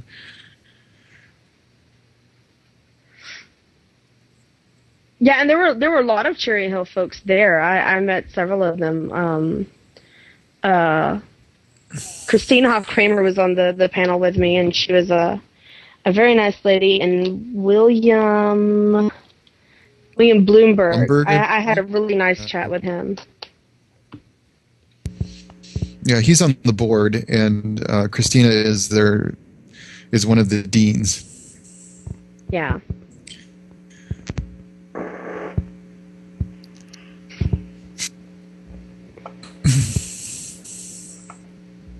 I kind of apologize. I, I I don't have like any wild stories for you guys at all. Um, That's because PCon is obviously a very boring conference, and no one should go because you know, the runners of the event really don't want anybody to show up. no, not at all. All the more Not- reason to do wall-to-wall media coverage next year. PCon 2012. Right, PCP is gonna be there, and they're gonna bring the party bus. Well, no, we might. I don't think we're bringing Scurry's party bus, but I think Pagan FM might bring their their live broadcast mobile. Oh, cool. Yeah. So we'll see what happens. Really? We have a Lamika, good you guy. were there for that conversation. Oh yeah. Ah, Yeah, I. I just It'll- I, I just wanted to practice my sucking up skills and just say what an honor it was to meet Peter and and what a, a just a straightforward, honest guy he seemed to me. So that's my suck up for the day. Peter Well, I'm going Peter to diving, that my- folks. Peter Dybing has entered the room. My, Peter, my I'm impression of Peter Dybing was that the man has levels of Got airport noise, but I'm working on it. my, my impression was that Peter has levels of resources and deviousness uh, far above, beyond what I could have suspected. He was talking to everyone, and and he was he was getting things rolling, and and uh, he he was definitely a major mover and shaker behind the scenes there at at PantheaCon. Well, I I, I Question did a what was it brief. that I was shaking? For, for those I of you did a- playing at home who don't know who Peter Dybing is, he's the first officer of the Covenant of the Goddess, by the way. Well, I, I was so impressed with his calm resolve because I, I was interviewing him while he was doing a job guarding the upstairs rooms there and dealing with a young lady who was having the moment of her life because she had forgot her pass back at her room. and he was just so calm and considerate with her, but firm with her, and he still talked to me. It was amazing.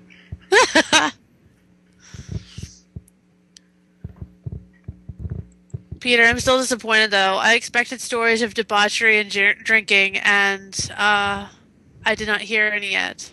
And we see he ran away. He fears me. he fears me. He's shamed. Well, He I don't shamed know for himself. certain, but I I I think Peter did party harder than the rest of us. So, Alright. but, Yeah, uh, he- uh, He's the one who has some party stories. He, so I know that he's probably saw more stuff. So but he was actually very nice. He actually sat and, and chatted with me for a couple of hours and and let me pick his brain uh, regarding uh, current trends and and paganism and, and his thoughts. So uh, I'm very grateful that that he uh, allowed me to do that. So. Did he have any back in my day? We pagans had to march up three hills to get to our circle. Both ways. no, he had no uh, walking for miles in the snow up uphill both ways stories. But I'm I'm sure that he would be happy to to regale you. And then we had to do it winter shins. so um, But uh, yeah, and Nels Nels was busy. I mean, like almost every time I saw Nels, he had his arm around someone, you know, convincing them to let him interview them. Um, he, he made me feel like a slacker, which I was. Well, you know, it's it's really hard to interrupt people, and uh, but you know, I managed to do it. I uh, uh, like Evo. I just kind of grabbed him about five minutes before his presentation and got a two-minute interview from him. And I said, well, just just consider this a way of distracting you so you don't feel nervous. And and that worked, but you know, it doesn't work with everybody, and you you do have to just jump in and grab somebody's attention if you want to get any words from them. Yeah, definitely. You, you, kind of just like have to say hi to people while you have the chance. There was um, yeah, that's T. Thorn Coyle and I kept like passing each other in the hallway, and we'd like wave. And that was like it. It would just be like, "Hey," and we'd be going in different directions. So. So, so Peter, they were hoping that you had a story of partying and debauchery because all the rest of us were pretty, pretty boring and laid back. I have a story of partying and debauchery. Aha! Good. You saved the day. So I decided to go to this party at night with a friend of mine from the Florida uh, COG. And I hold on a second. And the airport takes over.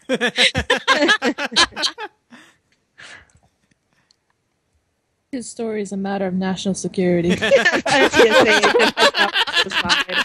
he tells the story, he's going to end up getting, you know. He's going to go through TSA again if he tells the story. Yeah.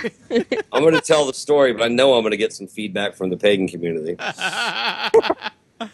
Pagan TSA. So I get to this party in the evening with this friend of mine, and we're hanging out, and she says, "Pull your shirt up." Okay, I'm pagan, like I care. So I pull my shirt up. She's like, "Lay down." I'm like, okay. next, next thing I know, there is honey being poured all over my torso, and Awesome. somebody yells, "Cake!" And all of a sudden they're like 30 people licking the honey off. Like, okay. And at this point, my my head. I can't even see who it is. I have no clue. And the interesting thing is, it didn't get really a reaction from me at all. I think it was more about them than it was me. But it was definitely a once in a lifetime event. My nice and proud. Once you cake, you'll never be cake again. Wow. I love that story. So there's your debauchery from you. Gone. so you were really busy uh, working on projects in the background. Yeah, I Um, was. I was trying to put together some stuff. Um, and and you told me a story. You told me a story about being in the cog suite, um, with a bunch of elders. Do you want to tell that story? I'm not sure it's the same story. Is it kind of about my reaction to that and how I felt about that? Yeah, yeah. All right, so they're doing kind of a history of COG or interfaith. I don't remember which one it was, but I'm kind of looking around the room, and there's M. Macha NightMare, and there's Starhawk, and Andras Corban, and a number of our COG elders that have been here since, you know, this whole thing was founded. COG, I mean the neo-pagan movement, you know, in the early 70s and late 60s. And I'm just, I'm standing back going, okay, I really have no business in this group, but, you know, it's okay. And it was just amazing to see that generation of people all in the same room because now they all have founded their different traditions and that kind of thing. But I was just kind of overwhelmed with, you know, just, I don't know, I guess kind of the magical energy and knowledge there. Is that the story, Star? Yeah, pretty much. Yeah, you, you described it to me as they were discussing the day they reclaimed witchcraft, and I thought that was a great phrase. Yeah, and I mean that really was kind of what they were talking about. They were talking about you know when this thing came together in here in Northern California in you know the early '70s, and they started talking about forming an organization to protect witches, and you know this all these different people from these different paths, Andrew and Andras and Starhawk and Z Budapest and everybody, all were part of this one little initial core group in, in the early days, and just getting an insight into that was like, wow you know, and it kind of made me think about pagans in the future, 20 years from now, 30 years from now. They're not going to have access to that kind of experience. So I felt kind of privileged. Yeah, I mean, by, by that time, you know, it'll all have been recorded in podcast form. Yeah, just don't add the cake story to that. Too late. Too late. Scorpion audio bite.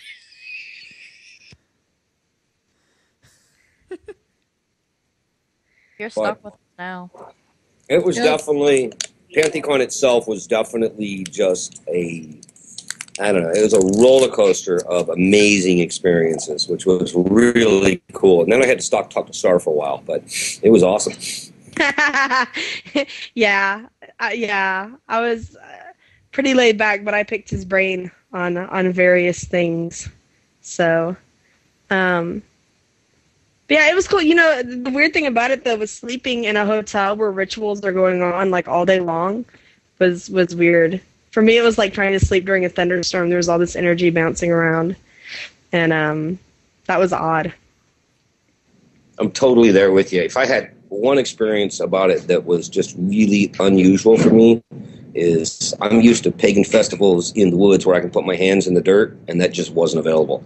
So it was a very different kind of very intense intellectual magical energy that didn't have that kind of grounding piece that I usually get by being able to like go out in the woods naked and hang out.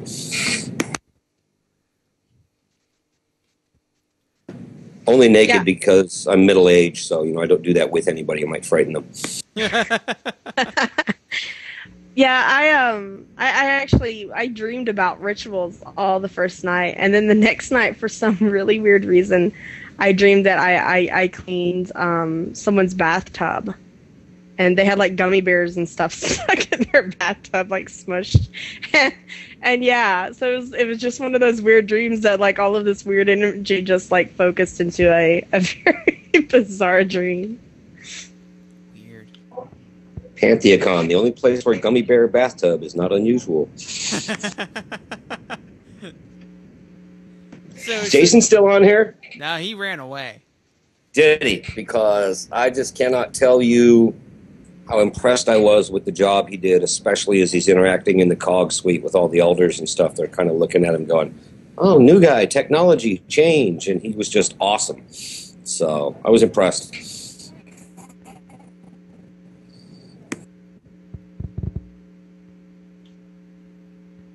Yeah, Jason Jason did a fabulous job, and so did Nels and Cara. I mean, PNC Minnesota. You know, I'm not trying to diss any other any other bureau, but PNC Minnesota just kicks ass. Yeah, It all you simply other does. bureaus, step up to the plate because we Yeah. never talk about any of y'all. We only talk about PNC Minnesota because they're full of wind. Uh, they, they really are. It's just They- more they- sucking up. no, no, seriously. I mean, they, they just do a fabulous job, and they've they've definitely set the bar for all the rest of us. You know, it's no longer. You know, we, we we've had discussions about whether we need to be like the AP or Reuters, and and you know, different books of style, and you know, there there's been a lot of discussions about what we should be, and now it's all just sort of boiled down that you know, well, we need to at least be as good as PNC Minnesota. Well, I I think the thing that, that happens with PNC Minnesota is they didn't wait around done. for us to agree on what manual of style to do or or what format the website's going to be in. No, they just kind of ran out and started doing stuff, and that that's why they're full of wind. Yep. They do stuff. That's the difference. They're not planning bureaucracies. You know, They don't talk about doing stuff either. if I get one more email that we are planning to talk about potentially, possibly thinking Doing about something. something, I'm going to flip. well, I mean, they have their organizational stuff too, and they were able to share that with us, uh, how they do things, and it was very helpful for me. And so I, I appreciated that, Nels, that, that you and Cara took the time to talk about the way you were organized and the way you handled issues. Um, it, it, was, I'm, it was very helpful for me, and I'm sure it was very helpful for the other bureau people. Well, hopefully they actually listen to the damn advice. That's all I got to say. Well, it, it was kind of funny because the when we originally wanted to meet with this, you know, larger group that were was interested in the bureau, you know, their response was, "Well, we really don't want to have meetings, so we don't want to meet with you, and, so we'll just withdraw our site." And then the amazing thing is, is we didn't have any meetings then because we didn't need to talk about anything. So, so we didn't have meetings. you know, we just did it. Um, you know, but but I just want to say, for me, you know, uh, Cara has been uh, really uh, helpful to to deal with. You know, there there's been issues that have come up, and and uh, you know, there's been times when we've gotten a huge response and then no response, and she uh, has really helped me to learn to be just calm about the whole thing and realize that that you know the most important thing is to get stuff out there that is reasonably professional and you know let the chips fall where they may um, and and just keep doing it for sure the the more you put out there the more the easier it is for more things to come Well, I just, I just like the fact that you guys are out doing stuff. I like that. I appreciate people that actually do stuff. I just get frustrated when organizations go in this idiot loop of planning for stuff that they're not doing yet. Just my personal rant. I really like PNC Minnesota because you guys do stuff, and you get you like you said you do have that professional quality. I mean, for a very long time, if there was any video in the pagan community, it was coming from Magic TV, and even they've abandoned their quality standards. And so it's like I almost feel obligated to contribute pagan video because, well, looking around YouTube, all of it sucks in some way. With the very rare exception of like the the couple of videos PNC Minnesota has posted. Once in a Yeah, that's good. Somebody that that you know one of our listeners posts something really intelligent, you know, and that does happen, but it's just not a regular thing, and that's kind of sad, you know. It's like we have like pwned podcasting, and yet in the video arena, pagans suck. there was a star foster video that was a highlight so Yeah. That was that was you have no idea how low quality and, and rushed and and just randomly pulled together that that was. And I actually did have complaints about the quality on that one. and They were valid. The the music was too loud. Um but uh that was my my first attempt at video and, and if you've noticed I, I have not uh exactly faced that media since. So um Hey, Star, But- if you'll remember, mine came out about two minutes after yours, and let's put them side by side. Yours was high quality. you, you did. You did. You totally you totally beat me to the punch. I was a little disappointed actually. Yeah, except mine sucked, and yours looked halfway quasi professional. but um no, yours yours was awesome. Um but yeah, I think, you know, the the fact that they did have people doing video at PantheaCon I thought was really, really interesting. And you know, I, I certainly plan to go back next year and, and, and I, I hope other PNC folk will be there. And it would be interesting for us to maybe next year try that out as a as a place for us to to try to go into video uh, as an entire organization and Yeah. where we can work together and support each other. That would be cool. I, Yeah, I would I be interested in doing that. Yeah, I mean, if, if Circle Sanctuary doesn't want to let PSG be the, the premier event for video, well, we can have other events, you know, take up that honor. You know, it's not a really hard thing to do. I mean, we did Mhm. some decent coverage of uh, CNC PBD, and the really cool thing is because they were so open with the media, uh, a lot of people were taking video. And you see all these people around taking video, and the thing that always bothered me when going to a lot of places, you see a lot of people taking video, but you're like, well, where the hell am I ever going to see this video? But the cool thing is YouTube, CNC PBD 2010, holy crap, everybody shows up, including our little road trip.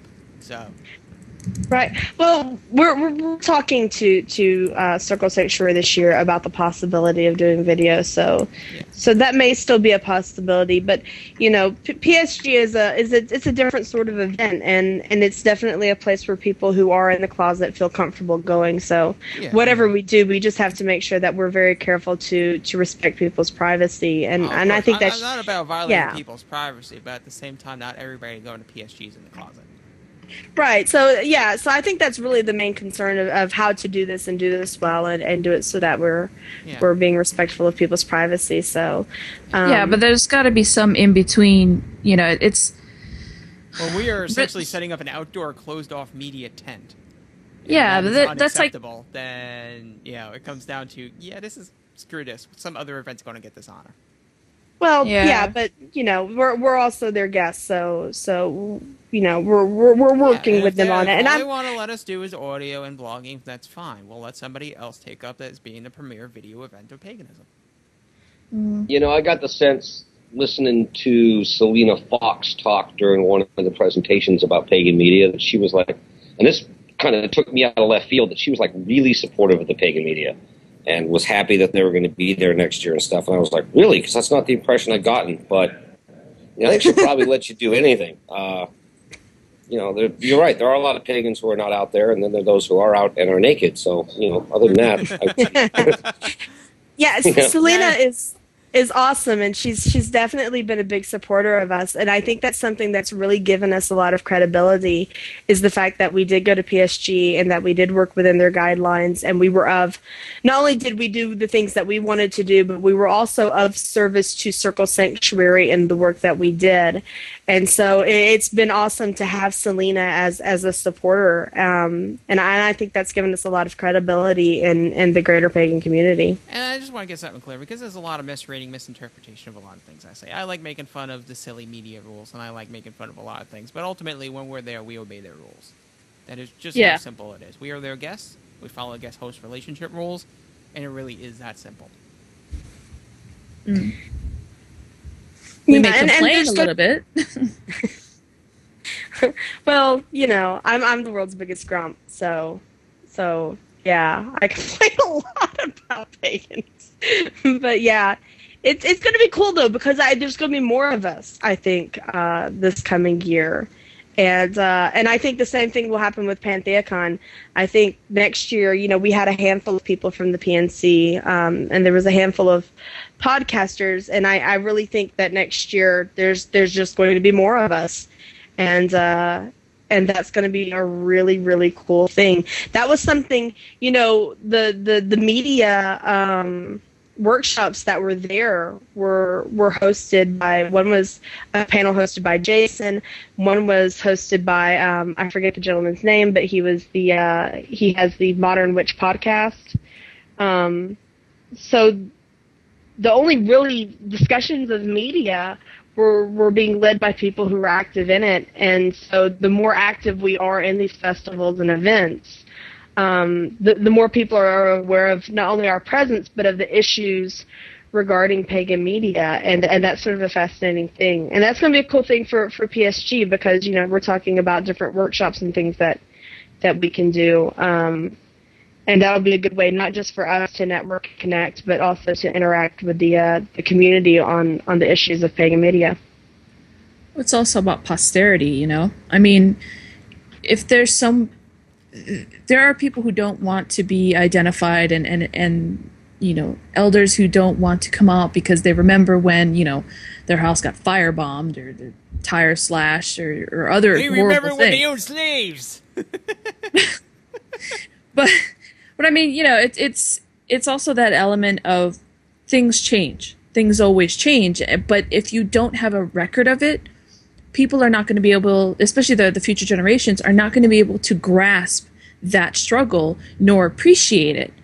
You know? Oh, yeah, it is about doc. I mean, that is one thing that me and Selena Fox completely agree on. Is is yes, we need to document things for posterity, and that's why she, you know, she, the whole recording of the history of PSG was not exactly an idea we had. It was Selena Fox's suggestion. I thought, well, that's simple enough. We just hook up a recorder, bum bum bum. It's really easy to technically do, and it's going to be really cool. Let's do it. So we did it. it was, you know, Mhm. and it, that's one of the cool things of working with the events is just make sure that uh, we can record things. I mean, uh, we don't want to become like the Native American community, and I don't mean to pick on them, but they just don't document stuff, and now they've had this revival, and their beliefs are in decline, and they're going to get lost again. I mean, it's Yeah. not enough you lost it once, but to lose it a second fucking time. It's Yeah, time to document it before it all goes away. Yeah, or something you know, we, happens. we have a lot of pagans trying to reconstruct their their their native indigenous traditions, um, and and actually a lot of the Native American community is going through sort of the same thing where they're having to reconstruct things that have been lost, um, and I I find that fascinating. Yeah, I mean, Um, uh, that's that's the thing I like about a lot of pagan. Well, a lot of festivals in general are really open to, to videotape, and you know, we are working very closely with the, you know, we, we are work, you know, I'm trying to work through Amber to make sure that we can document as much of uh, the Native American festival we're going to uh, over Beltane uh, in a respectful way. You know, there, there's a lot there to document. And what's nice is a lot of them are, are more than willing to try to preserve this, not only so we could use it for the, the Native American Museum and use it as advertising, but because this is something that's lost. And, you know, especially on the East Coast, to be able to have some of the dances and some of the regalia taking videos of and being able to interview some of these demonstrators and what tribe they're from and where they learned what they did is amazing information that'll be priceless for the future generations. Well, and, then, yep. in, in that particular geographic locality, there are things that are only done in that geographic area, and you can't research that on the internet. Yeah. And it would be nice to have that stuff documented, not just for the local people that you know that's my family that did that it, for just overall people that are looking to do research or just curious about things it's nice to have this stuff documented i mean it would have been awesome to have like rituals that were done in the past and have video footage of it to see how rituals have changed over the decades and we just simply don't have that material mm-hmm yeah you know one thing about psg is you know I would tell people that I'd want to record their stories, and they they would look at me like I was growing three extra heads all of a sudden. And um, and then I would sit down with them and start talking to them, and like these stories would start pouring out, stories that even they had forgotten about, um, stories that they hadn't realized that other people wanted to hear. Um, my, my, my, one of my favorites was when I talked to Bella and Skycat. They, they originated the Basque ritual at yeah. Pagan Spirit Gathering. And their stories of how they, they started that, and they shared the chants that they did, and uh, they talked about the year of the tornado where they were all singing and chanting and holding hands in ditches as they they waited to see if the tornado was going to come through the valley. You know, th- these are stories that you know are important for us to remember, um, but they're not stories that our elders really consciously think of as being important. You know, and it's the same thing. Like you know, there's stories that my grandparents um, told me and that I would ask to hear again, and they, you know they didn't quite get. It. You want to hear that old story, and I'd be like, well, well, yeah, you know, I, th- that's interesting to me. And then there are things that I never thought to ask my grandparents about that you know I wish I did know the stories, um, because it was just something that at the time neither of us really thought was that important to to share. So and that's why I kind of like your approach of just interview anyone and everyone, because mm-hmm. there's enough interesting stories to go around. Yeah, sometimes that doesn't go so well. Sometimes it doesn't, but you know. But yeah, I'm I'm I'm a chatty person. I will talk to anyone for as long as they are willing to talk to me. We will find things to talk about. I co-sign that that's true. it's true. I totally I totally uh, uh, held him hostage for a while, picking his brain on on all things witchcraft and Wicca and, and pagan trends. So, yeah. Star, you want to? Are you interested in talking a little bit about the kind of pagan founders history thing, or is that something you're saving for a story? No, I, I definitely think you should share that because I find that fascinating. How you you you uh you were working on that. So you heard it here first on PCP. Uh, spent a bunch of the PantheaCon weekend contacting a number of elders in the community, putting together a project where within their traditions they would agree to take what I call a second degree initiate, which usually has to do a service project, young pagans, and marry them with one of the founders of this movement that you know kind of came out of Berkeley and that area in the 1970s and interview them not so much about the traditions they've established now in their full body work, but how was that? How did you come together with these three people, and how you know how was forming the first pagan organization and that kind of thing, and then that will be considered service in their path to degrees or whatever it is, and it's going to be cross traditional, meaning that in order to avoid the kind of veneration thing, we're not going to have a reclaiming person interview Starhawk. We're going to have somebody who's you know, studying, you know, uh, Nordic Reconstructionism, interview Starhawk. And then the idea is to put all this together, and it creates two things. It creates a story of the founding of neo-paganism in this country, and the other thing it does is taking these 20 or 22 year old initiates and let, having them do the interviews. It sends them into the future 50 years from now as being people who knew the founders of this movement, which is kind of a cool thing. Yeah, I like the idea. Yeah, and that's what that's what Peter. That's why I said he has levels of resources and deviousness far beyond. I talked to him, and he'd be like, ah, "I talked to so and so, and so and so is on board." And I mean, he totally just completely put this whole thing together over the weekend. It was fascinating. And hopefully, hopefully, it solves the problem of shitty pagan video on YouTube. Yeah. Uh, I don't know because I suspect a bunch of these young people are going to try to interview a lot of these elders on Skype and you know try to get kind of images and that kind of thing. So we'll see how it works out, but at least we'll get the information. Eh, Skype's come a long way. you can you can stream it over UStream. It'll capture it, record it. You, you, if you need post production help, you know where to go.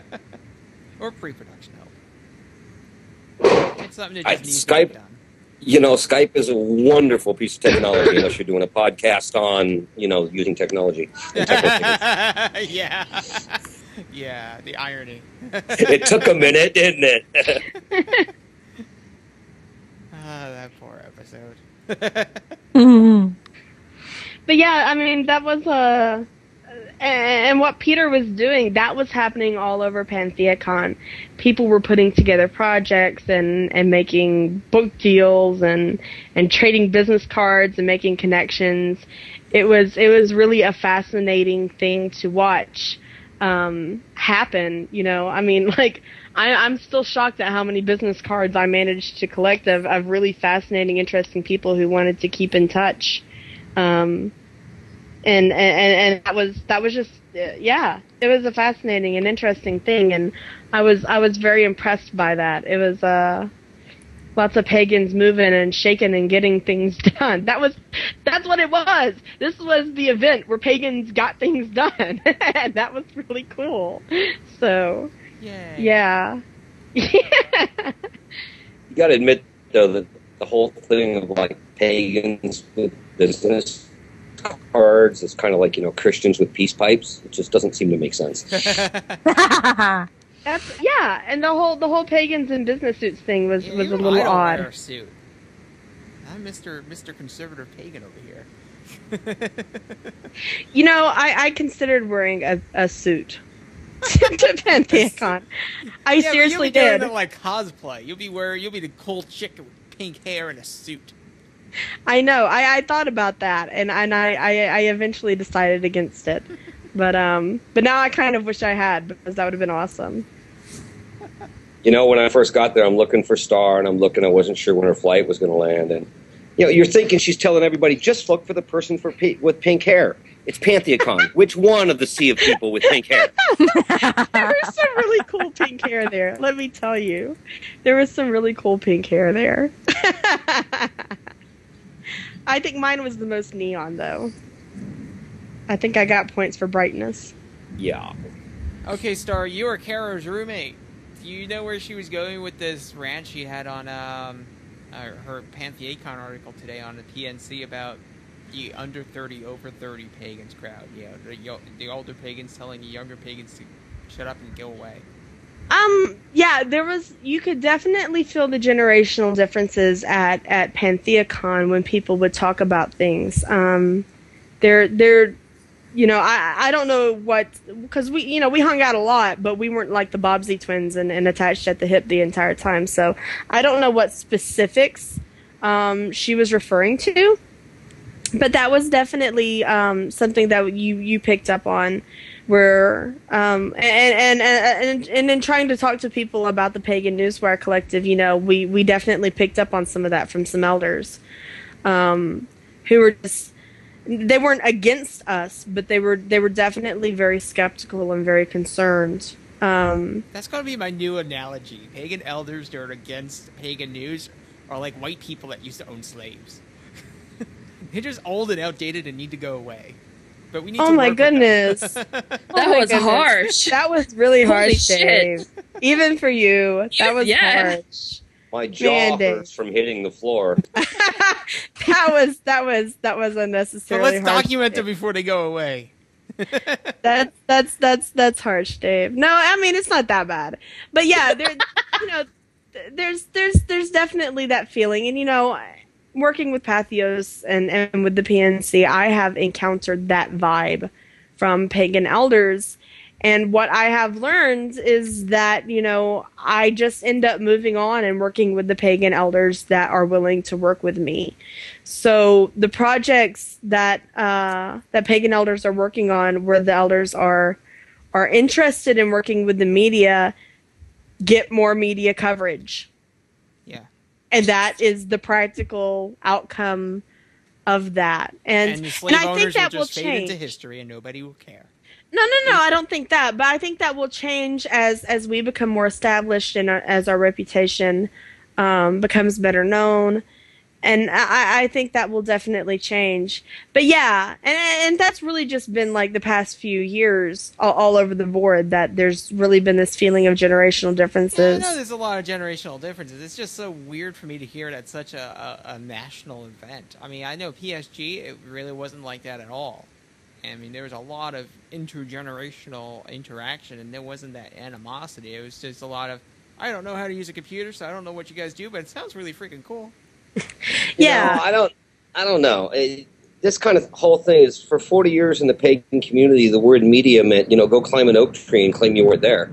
Uh, the media, the, the reputation within the pagan community was that the media was here to do fluff bunny stories or make Wiccans look bad or make witches look bad, and that, that's 40 years of that experience. So when you're talking about talking to people in their 60s or 70s that had 40 years of this kind of experience, and you're using the word media, it, it's just kind of having to get people in their 60s and 70s to unlearn something that's a long time tradition. And you know, they're, they're human like everybody else. It's hard to unlearn stuff as we get older. I know, you know, same thing with me. So I, I, think there will be supporters. I just think it's going to take a little time. We don't realize how new a pagan media is in their worldview.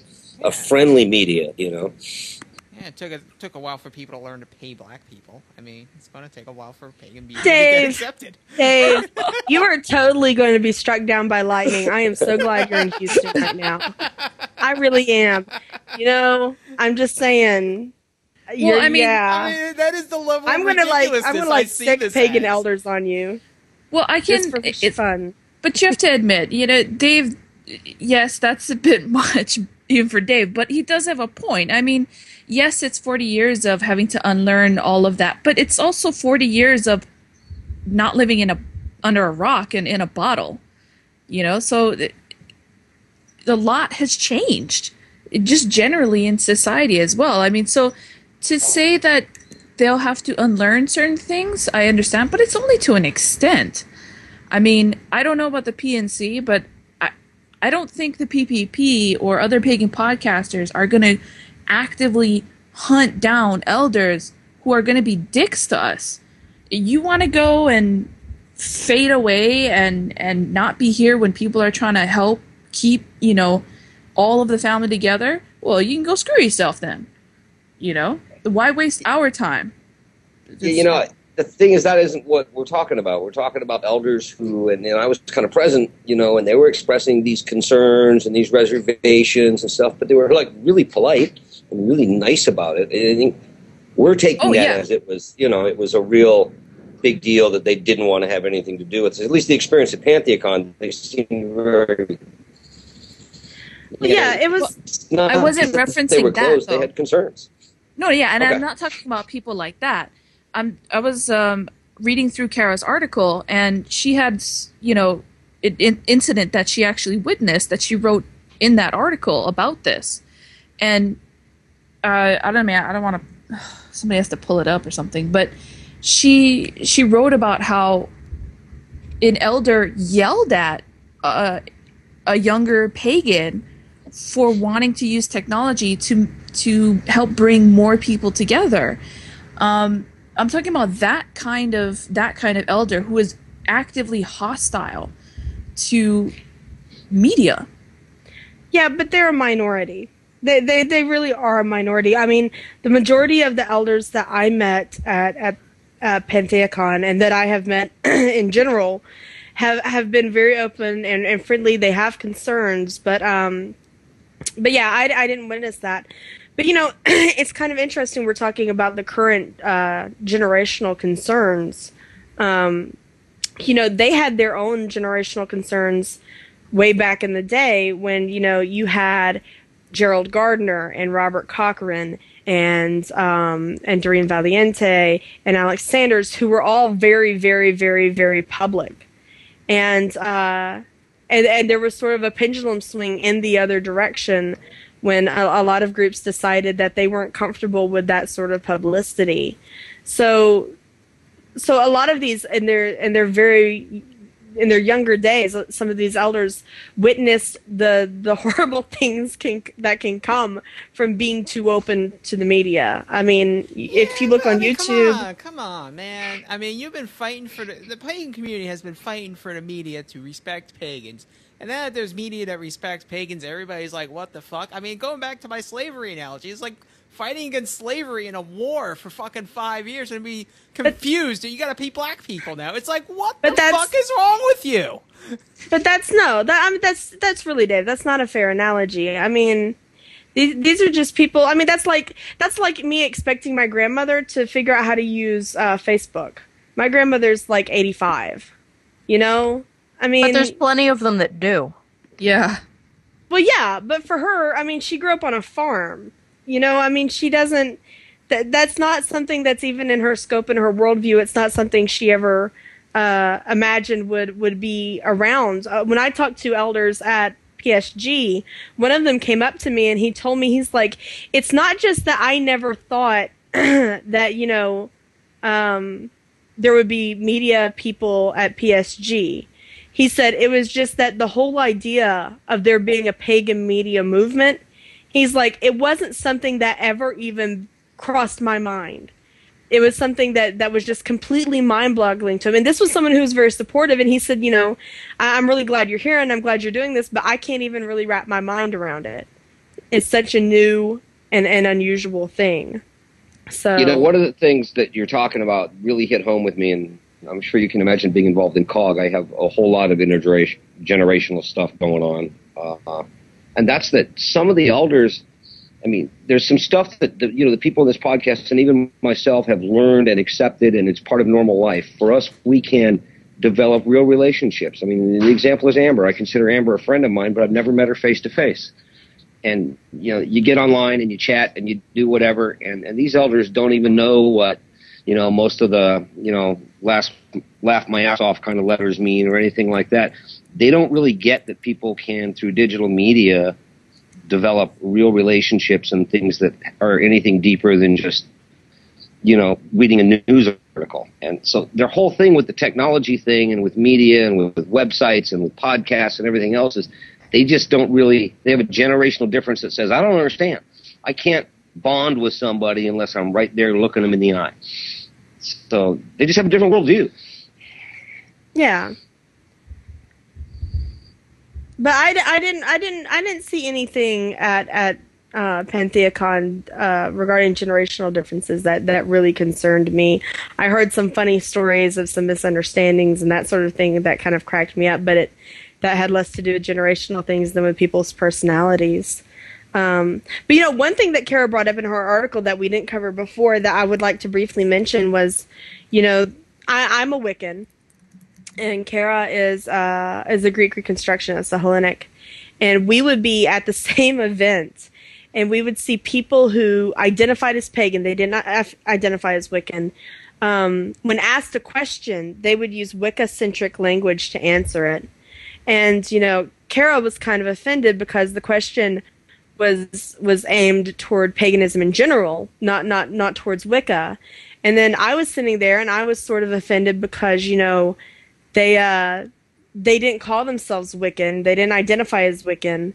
Um, but but they were they were sort of using the, the language of Wicca and um, and the uh, and referring to the practices of Wicca um, as a as a pagan thing.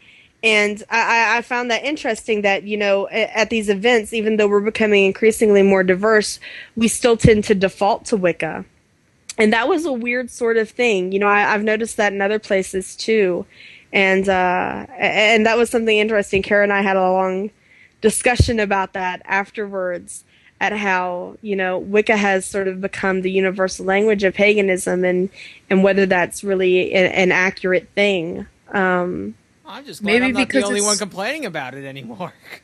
yeah. Yeah. Well, it might be because Wicca is so freaking generic. I mean, the the basic Wicca that you can get, Scott Cunningham, you could fill in the blanks with anything. Anything, really. I mean, that that's why even though I worship the gods of my own people and Hawaiians, I'll still call myself a Wiccan because you know what? At the end of the day, I mostly speak English. So, you know, I mean, there you you hear that kind of like maybe it's I you know I don't know why. I want to know why, because there are so many different kinds of pagans. I think I think a lot. I mean, there's so many pagans still that think that paganism is Wicca. They think that the only thing that is pagan is anything that resembles Wicca. Well, you know, I, I, I- I think well with Scott Cunningham, you know, I, I I've read his books and I and I have respect for him, but he really reduced it down to the barest bones possible. Mhm. Um, and you know, you can do that with with almost any any religion. You can reduce down to its absolute barest parts, but that that removes the whole uh, living tradition from from the religion. But I, I think what's troubling about it is is just that you know by defaulting to Wicca, especially if you're not Wiccan and you're defaulting to Wiccan language, um, not only are, are you disrespecting the, these other really vibrant uh, pagan religions that are out there, it's also sort of disrespecting Wicca because I know I know there's an issue with with Wicca for some people. People um, uh, since especially since Ronald Hutton's Triumph of the Moon ha- has come out, they uh, they they sort of actively disrespect Wicca, but they're still using Wiccan language and they're still uh, using Wiccan practices and, and, and forms and theology, and, and and that kind of disturbs me a little bit. Star, welcome to the club, though. That happens to everybody. That happens to indigenous peoples, Native Americans, Hawaiians. You have you see it everywhere, where they, you know, people come in, and they're gonna they're gonna use gods and goddesses from all over the fucking place, and they'll sit there, stare you in the eyes, and say, "I, I think they're all archetypes." You, I mean, you get it it just it happens and and that that's neo pagans for you Yep. And, Well, well, Go ahead, Star. well, it doesn't make it, it, it right though, and so oh that yeah was i'm something. not saying it's right So that was something that concerned me and Cara because there was such diversity there um, that uh, that that we were we were a little surprised that we didn't hear people using more diverse language when they were asked to uh, talk about things about paganism in general. Um, and Star, uh, Do you remember our conversation when I was talking about that history project and, and I paused and said, you know, I'm calling it a second degree initiate because that's my tradition. Other traditions have a different name. No, you broke Right. up there, so a lot of us didn't hear that. yeah Yeah, but I mean that's that's kind of the example is you know I'm talking about it from a perspective as a Wiccan that that's what I'm calling it, but I'm saying you know other traditions have a different thing, and I think that's just oh. that's just learning a common courtesy that's going to start happening in the community more. People are going to you know I'm using this language because you can understand it, you know, and but that doesn't later, mean it's your everybody's- language. Everybody's just going to learn to translate degrees. Uh, you know, okay, s- a, thick, a second degree Wiccan is the equivalent of a third degree in Temple Set, and this is the equivalent of that degree and that, and so forth. Everybody's just going to pick up on it. Hey, We're Dave, just give us a chart. ooh does it have color and pictures I, I'll put some glitter on it so I can sell it at PSG. I mean, yay people at PSG are more intelligent than that. But I, the, the one thing that, that bothers me is when people are using Wiccan language, they're engaging in Wiccan practices, but they get completely offended if you call them Wiccan. it's like, uh, uh, what makes you not Wiccan? The fact that I don't call myself Wiccan? Uh, sorry, not good enough for my book. You're Wiccan.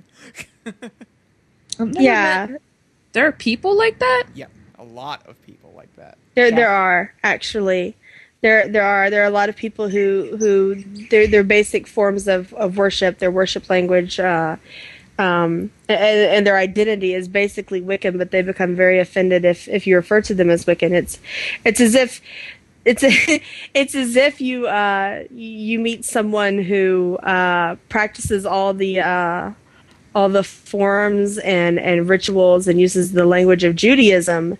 And, and when you ask them what their, and when you ask them what their, what their religion is, they say they're Abrahamic. it's like, well, that's a bit odd. so, um, but yeah, so we, we found that sort of, sort of interesting because, you know, um, it I guess it is a very popular sort of religious language within our community, and it's one that a lot of people are, are familiar with. So I, I mean, I understand why it's happening, but um, I don't think I- I- people realize how much it pisses people off. I mean, in, in some parts of the world, they make laws against that stuff. That's how pissed off people get about it.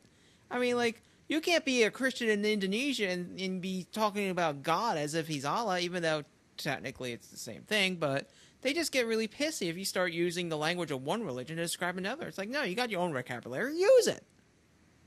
Well, but that would be work. I mean, that's what it boils down to, really. I mean, it's easier for a lot of people. It's it laziness is like how we can say that alcoholism is a disease, laziness is a disease. It affects all parts of your life, even to the the moment when your face hole starts moving and making sounds. I mean, Maybe Instead I should write of- a 12 step mm-hmm. program for that. you work with D on that. but but yeah, I mean, it, it was just interesting, and it was something that we noticed. And I don't think I really noticed that as much at PSG because at PSG they there was a, a ritual where they made actually space for people to come forth and and and speak in their own religious vocabulary. And so they had Asatru and they had druids and, and and that was interesting. That really was. But I, I found that weird and, and unusual um, at at uh, at Pantheacon. So it, yeah, it was something that that spurred a really long, interesting conversation between myself and Cara. That was kind of fascinating. Um, these issues are hard. I had a conversation with one of our interfaith people, and, and I asked him, "So how come you do interfaith?" And he says, "Because intrafaith is too hard. Speaking to our own community is more difficult than dealing with the Christians." It's true. And, and It's I think really he's got true. a point. He's, you know, we're so attached to what we believe and where we're going and what our movement is doing in our particular paths that you know we're becoming somewhat even more difficult than the Abrahamic religions to deal with. And he says, "Good heads up." It's true. I mean, you know, trying to uh, the, okay, a, lo- a long time ago there was the um, oh god, this was about ten years ago. Uh, there was the pagan unity campaign where they attempted to define paganism. Wow, that was 10 years ago now. Wow, I'm getting old. I know. I am. Has it been too. 10 years already? Yes, it has. Shit. And uh, that created this huge controversy because you can't define pagan. You can't define pagan. This is what's so interesting about it. You can't define the word pagan any more than you can define the word Hindu. Hindu represents such a wide variety of religious practices and religions and beliefs. It's it's not a single body. And and so so I find that fascinating that we have got a, a word to describe our traditions that is just as meaningless as the word Hindu. You know? I mean Hindu comes from the Indus River and, and pagan's just this Latin word to mean hick. So um it's I, I find that fascinating. Well, but the I, I'm hoping that you know, as the pagan community continues its its growth and spread, it doesn't equate diversity with difficulty. You know, it, it doesn't. You don't have I to I think be. PSG's a great example of that. Is that Mhm. it isn't you know I- as I keep telling Scurvy, there's about a thousand people there, and you're probably going to encounter 500 different traditions. but we all get along, and it's not this weirdness to it that that you get so many other places, and it seems PantheaCon is almost like one of those places. Well, there certainly are a bunch of different types of people bumping into each other at PantheaCon. Um, everyone I met there was very friendly, but I had this interesting interaction. Um, I wanted a soda, and so I, I, I left the room and uh, I headed towards the little vending area at the end of the hall to get myself a soda. And uh, this and this woman who was very goth was passing me in the hall and like I had to everyone else I had encountered, I just sort of smiled at her and, you know, acknowledged that she was, you know, we were passing each other in the hallway. And she rolled her eyes and looked straight ahead. And I was like, oh, okay then. so, so yeah, I don't remember where I was going with that, but that was an interesting anecdote. But for the most part, um, you know, it was a very friendly, open event, but there were definitely very many different kinds of pagans. And I think PSG maybe attracts more of the people who like to be earthy and camp out for a week and you know you don't worry I- about I hugging think- everyone because everyone smells bad by the end of the day well, I think I think PSG is also one of those events because it is intentionally built to designed to build community. You're not going there to be a stick in the mud. You know, even mm-hmm. sticks in the mud like me learn to shut that off for a week. When you're not busy dying. When I'm not busy dying. you're not allowed to die this year dave. We've got too much planned for you to do. Mm-hmm. Well, if Star would have taken care of him. I am completely oblivious i'm serious there's a reason why i'm not a nurse why i'm not a doctor She why i'm not in Doc care from Red versus Blue. I will seriously let you die. I'm just I'm going to tell you right there. I'm I'm I'm very happy to tease out the story of your grandmother from you to record that for posterity. but if you're suffering you won't from live to see it. But if you're suffering from heat stroke, don't expect me to save you because I will be like, oh, they look all right to me. So yes, Dave is, Dave should be very thankful that there were nurses and healthcare people who were at. Yeah, at thanks to last year, I'm probably gonna have to wear like an Because I would have LED let him die. that says "Time Last Pissed," and it'll just have an LED. you know, 13 minutes ago. But yeah, I, I totally would have let you die, Dave. You looked fine to me. You did. So, yeah. That's the reason Star is not in healthcare. They're definitely not, not letting you volunteer at you know med camp. no. no, that's not going to happen.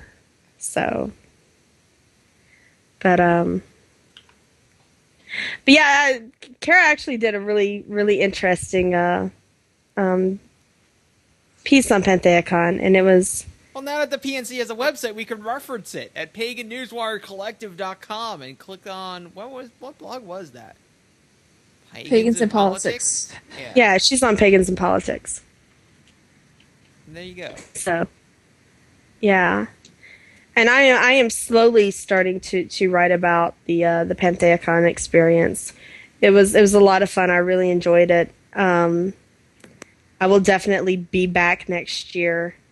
Um, hopefully, a little more prepared for the the fast pace and the the hoopla and and uh and, and be prepared to uh to just get drawn into interesting conversations and and not be able to do everything I plan to do. But that's how pagan events are like this, you know. You never get to do everything you have marked out and planned to do at the beginning. So, but it it, it was fun. It was an incredible event. I highly recommend it to anybody. I, I really do. Um, I uh, I I I was I was overwhelmed. So.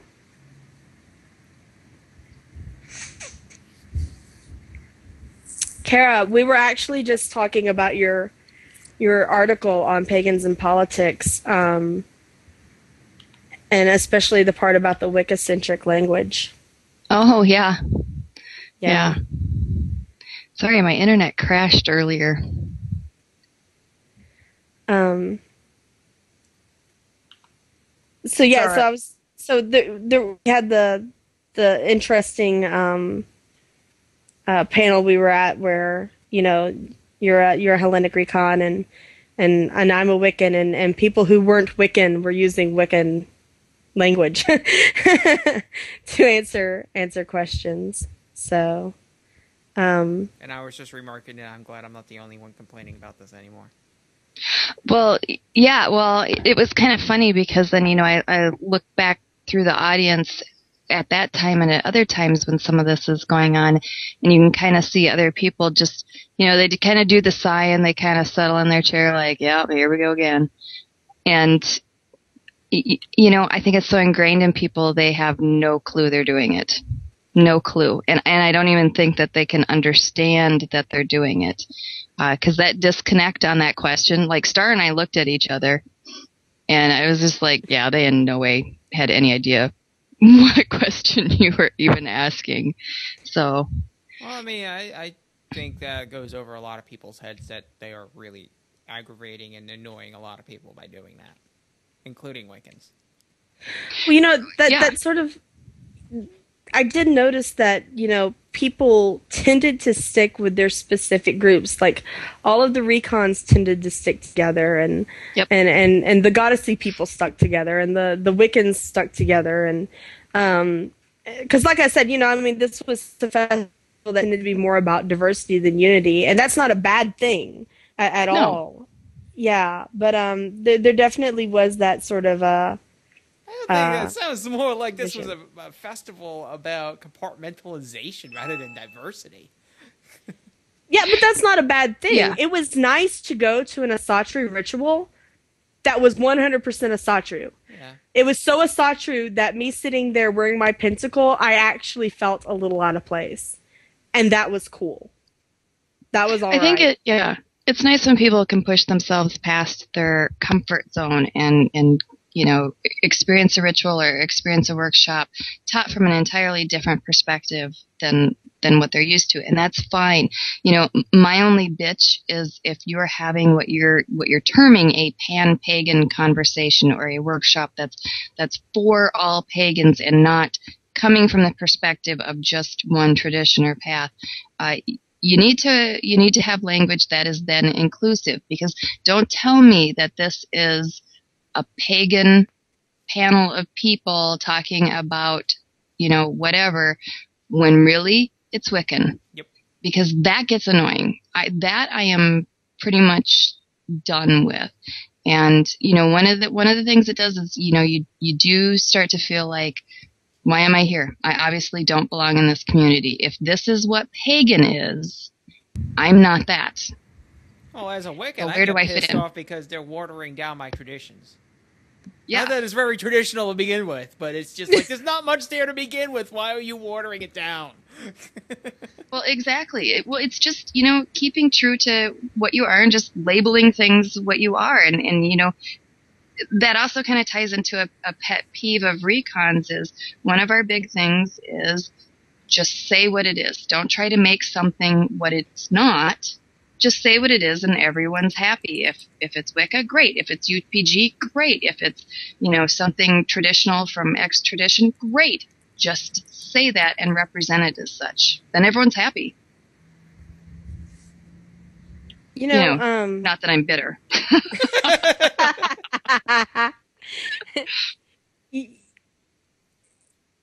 you know the one thing that i found really interesting though was that even though there was this diversity and there was this feeling that that people were sort of separating off into their own groups i never entered a workshop where i felt like i wasn't welcome. And i never entered a ritual where i felt like i wasn't welcome.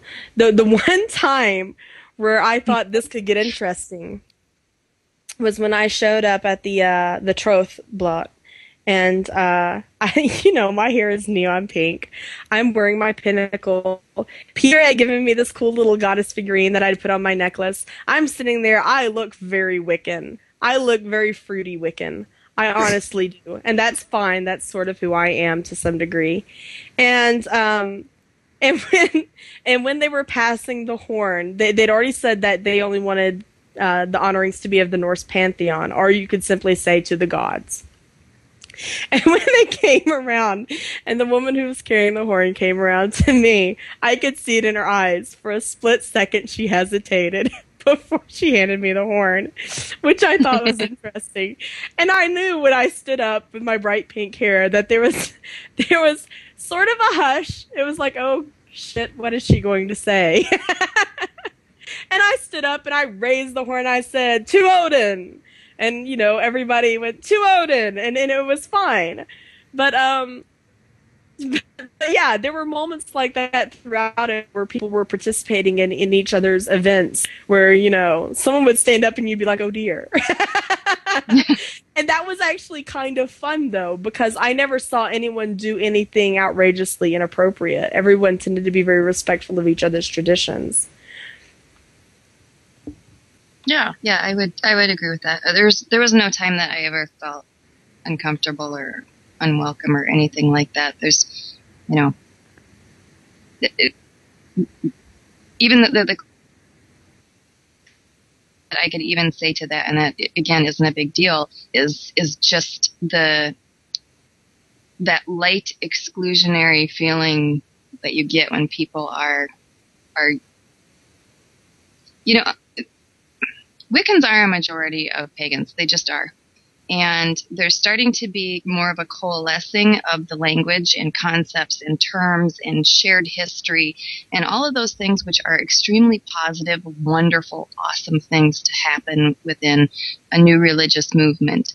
And the, the flip side of that is we're trying to make this umbrella at times um, and and fit everyone under it. And and I don't know how many more years that's going to be possible because I think neo pagan in the future is going to mean Wiccan, and that's going to be it. Yeah, and that, that's my that, thought.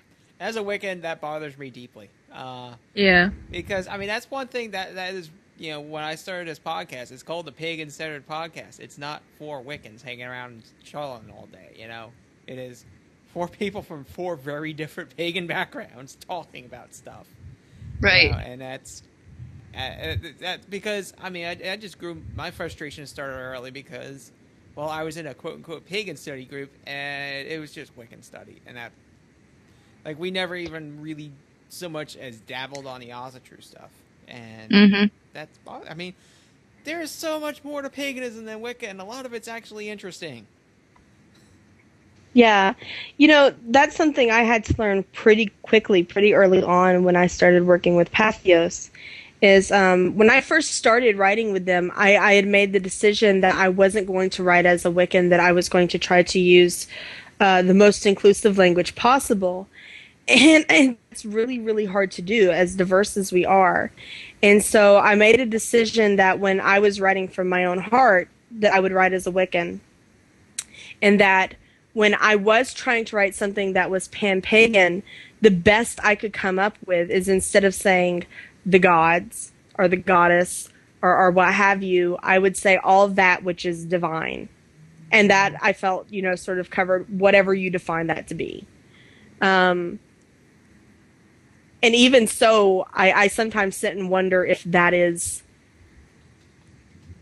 that is not a good enough term, you know?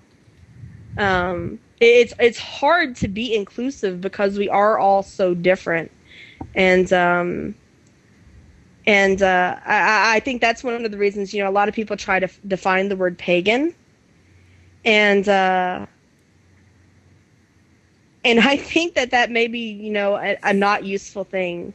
I think it may be better to leave that as as an open term as possible, mm-hmm. because really that word is the only thing we have sometimes that links us together.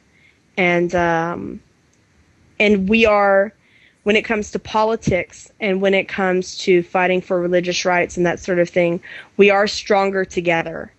And um, so we, we, we really do have to figure out a way to work together without becoming the Borg because nobody wants that. Yeah, but at the same time, a lot of stuff that I predicted would happen a couple of years ago did happen. You know, when the Wiccans got everything they wanted, okay, what happens with the rest of the neo pagans? Oh, look at that. The Wiccans got everything they wanted. Uh, yeah, we're going to say, screw you all, we're going home. And yeah, nobody's going to say, yeah, that's totally what the Wiccans did. That's really what I mean. You know, the whole, the whole, uh, what was it for the Asatru, the the Hammer campaign and all that.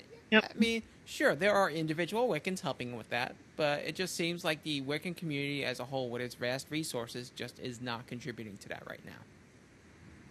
Well, would they look at it as mission accomplished? Yeah, they got what they want. it, it does make it interesting. Um, you know, I think there's definitely a lot of areas that we can come together, and most of those are in areas of, you know, civil rights and that type of thing, religious rights, and that's that's areas that we, you know, we can definitely come together and share and and work on those things. Um, I also think that we're just plain too small.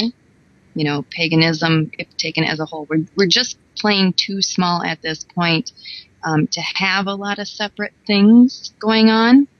And so we, we do need the strength in numbers. You know, I just I just wonder how long it will it will continue. I like being part of the pagan community. I enjoy it greatly.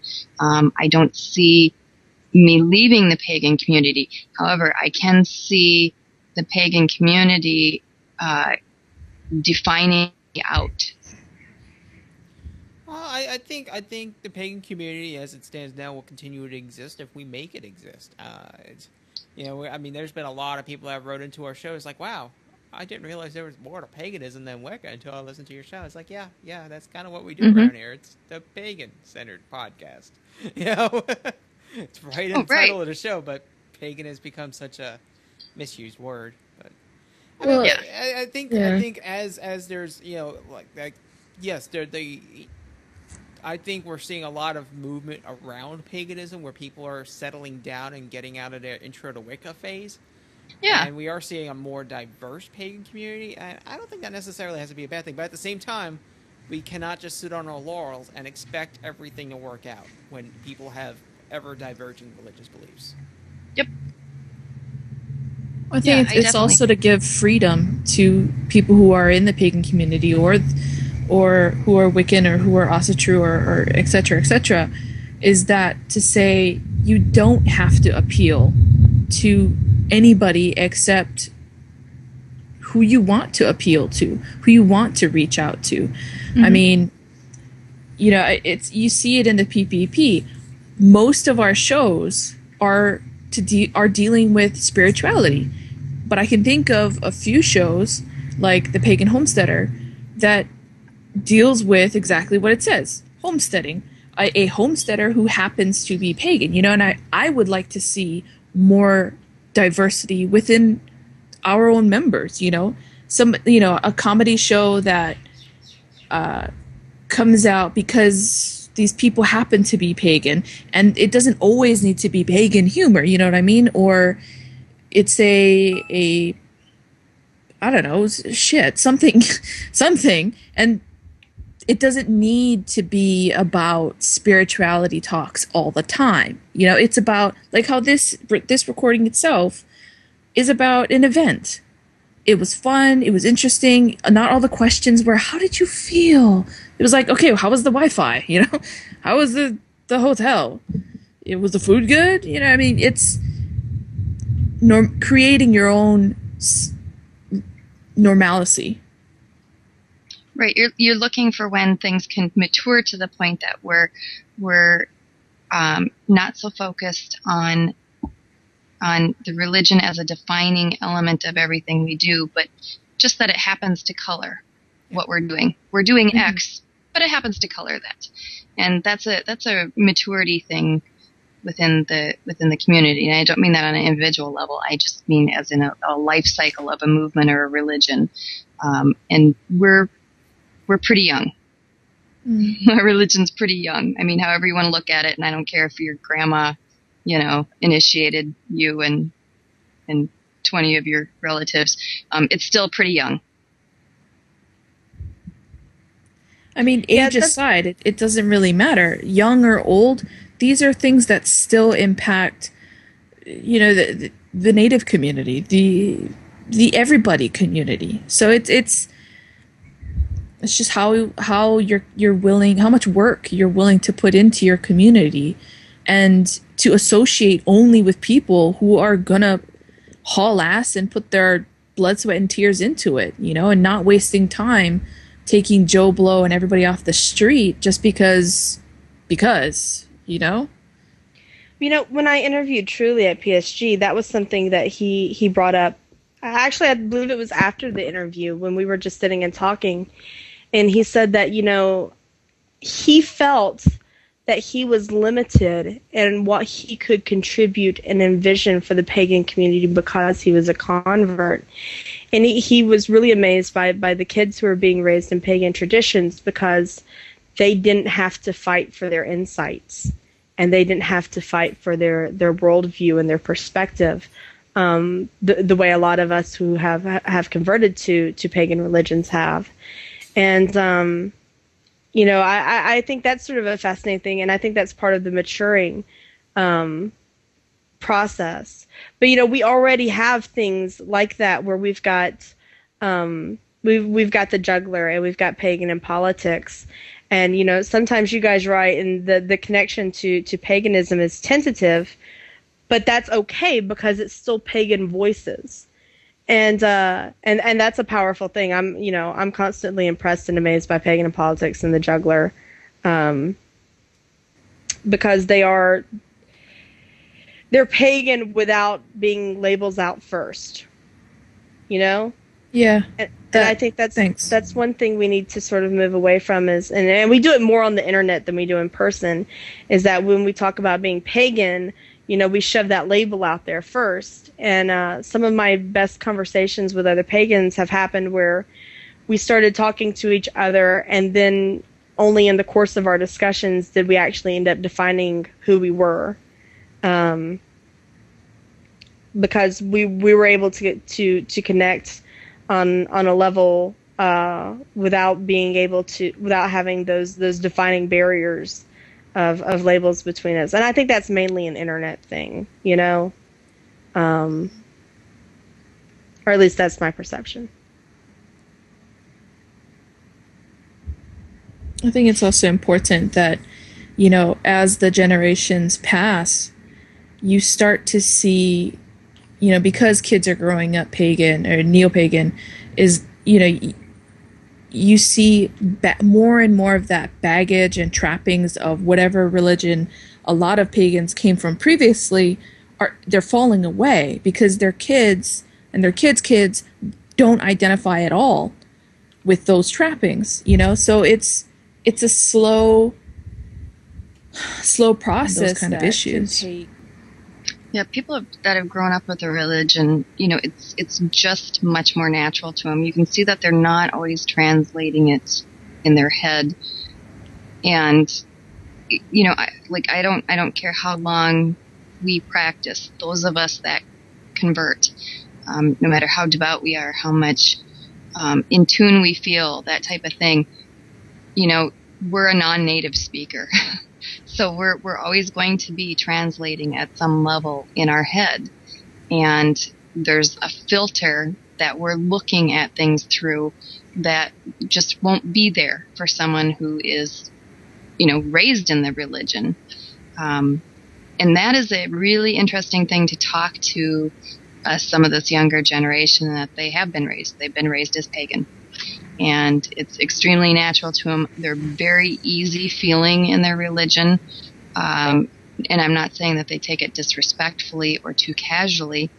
It's just part of them. I mean, it's just fully incorporated into into who they are, and they're they're pretty secure in it. And that is a really neat thing to see, and to see their insights and how they act and react to others about their religion uh, you know, I think we can learn a lot from them.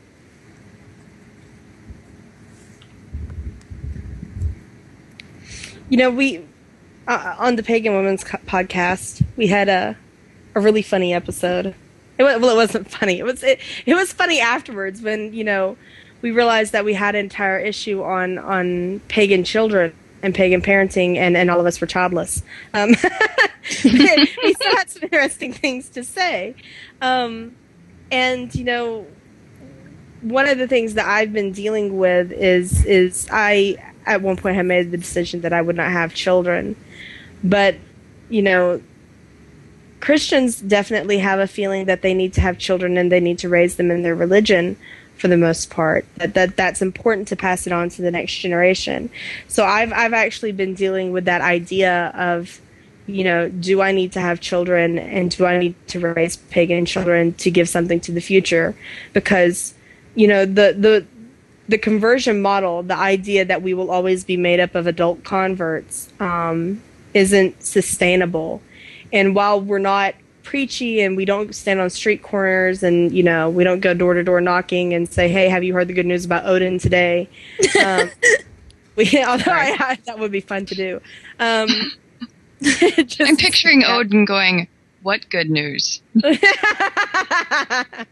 bum, bum, bum. what would that be what you're speaking about with a suit uh, and a tie riding a bicycle so, so right so so that you know there's there's definitely that feeling in other religions and you know, we've always been very leery to to raise kids in in our own traditions i know a lot of pagans for a long time had the feeling that they shouldn't impose religion on children. And um, the result of that I, I, know i know of several pagans whose whose children um, as part of the you know rebellion process against mom and dad became christian.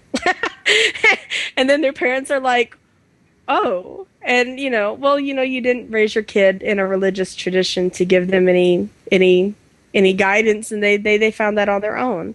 Um, not to say that they wouldn't have found that, you know, if if they had been been raised pagan, but um, so that's something I've sort of been struggling with, you know, myself. Is you know, do we do we uh, do we need to have more emphasis on, on raising pagan children and, and do we need to have more emphasis on um, having pagan children as active in our traditions um, and I, I, I piqued peter's brain a little bit over that and and uh, poor guy he was probably glad to get away from me and my nosy ass questions so but um but yeah, as that's long as like you a kept totally sharing the chocolate, you were good.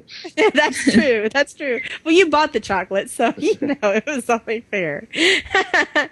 but um, yeah, but that's probably like a, a subject for a, a totally different show. I- Um, we've gotten a little bit sidetracked, but that's okay. It's fun. You can bring it up on the Pagan Women's episode on Sunday. Pagan Women every Sunday, somewhere that you can't listen to them live, but it comes out soon afterwards. Pretty much. Hear childless women talk about parenting. It's fun. Well if i'm on at least i have a kid Yes, you should, you should definitely come.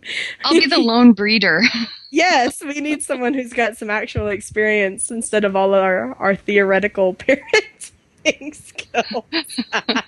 and, and soon, Barrett and Peter and I will be starting the Pagan Men show. Yeah, hurry up. And we're, we're, we'll, as soon as we figure out when we're recording, we'll do it. I love that. Let me we're- know. I'd like to tell Brandon and get him involved in something. Mm. Okay, we'll consider him man for part of that show. Aw, ouch. we could we could have him on a cooking episode.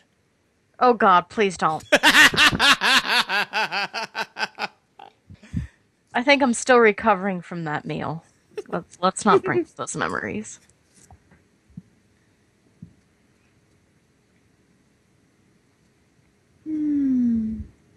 Well, I, I have to admit, I think I'm completely talked out on PantheaCon. I, I think we all are. So let, Yeah. let's let's get through some uh, final announcements, and then we'll get to final thoughts. Some final announcements next on the PCP 2011 road trip schedule. Schedule.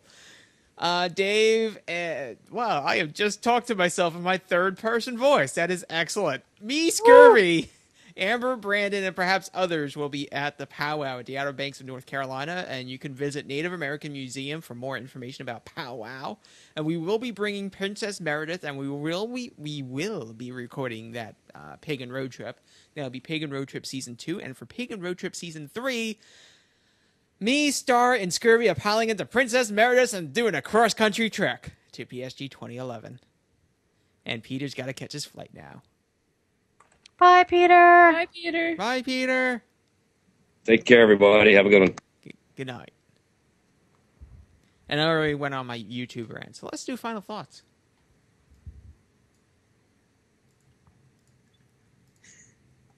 Um, my final thought is that I really enjoyed PantheaCon. It was a very different vibe, and I am looking forward to going back next year.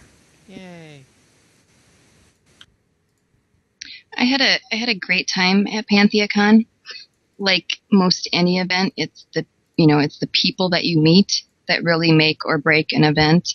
And um, so if I go again, I'm gonna have to room with Star again because she was an awesome con buddy. But you know, I think next time I would have to, um, you know, I don't know, maybe pace myself a little more with downtime because by the time we got to Sunday evening, I was decidedly antisocial and just not not wanting 1000 people speaking in my direction anymore. But it, it but it was really an amazing thing and i think people need to experience some of these events um, you know whether it's a festival or a con or a pan- something large like pantheacon you really need to go out there and experience something like that at least once just do it once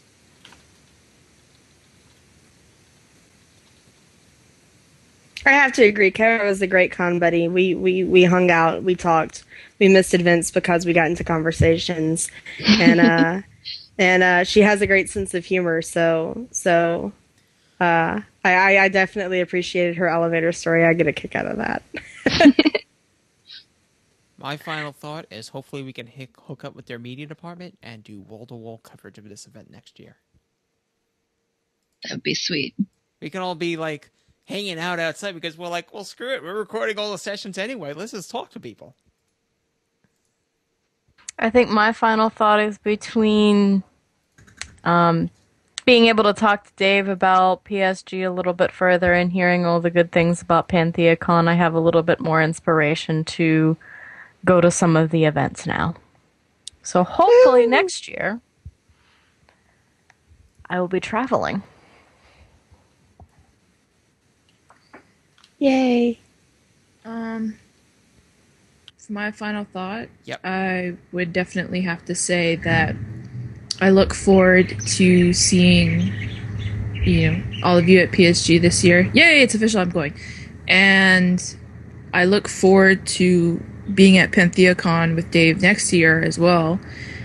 Um, and hopefully getting more, you know, pagan media, even more of a kickstart, you know.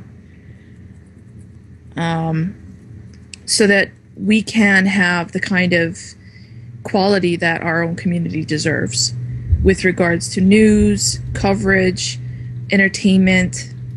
Um, I think our community deserves it, and it, it, it needs to be there. So. Uh, Awesome. yeah. So this has been a little over three hours of the Pagan Centered podcast. Wow. Join us next week when we will not be talking about Pantheacon. Good night, everyone. Good night. Good night. Primary recording is.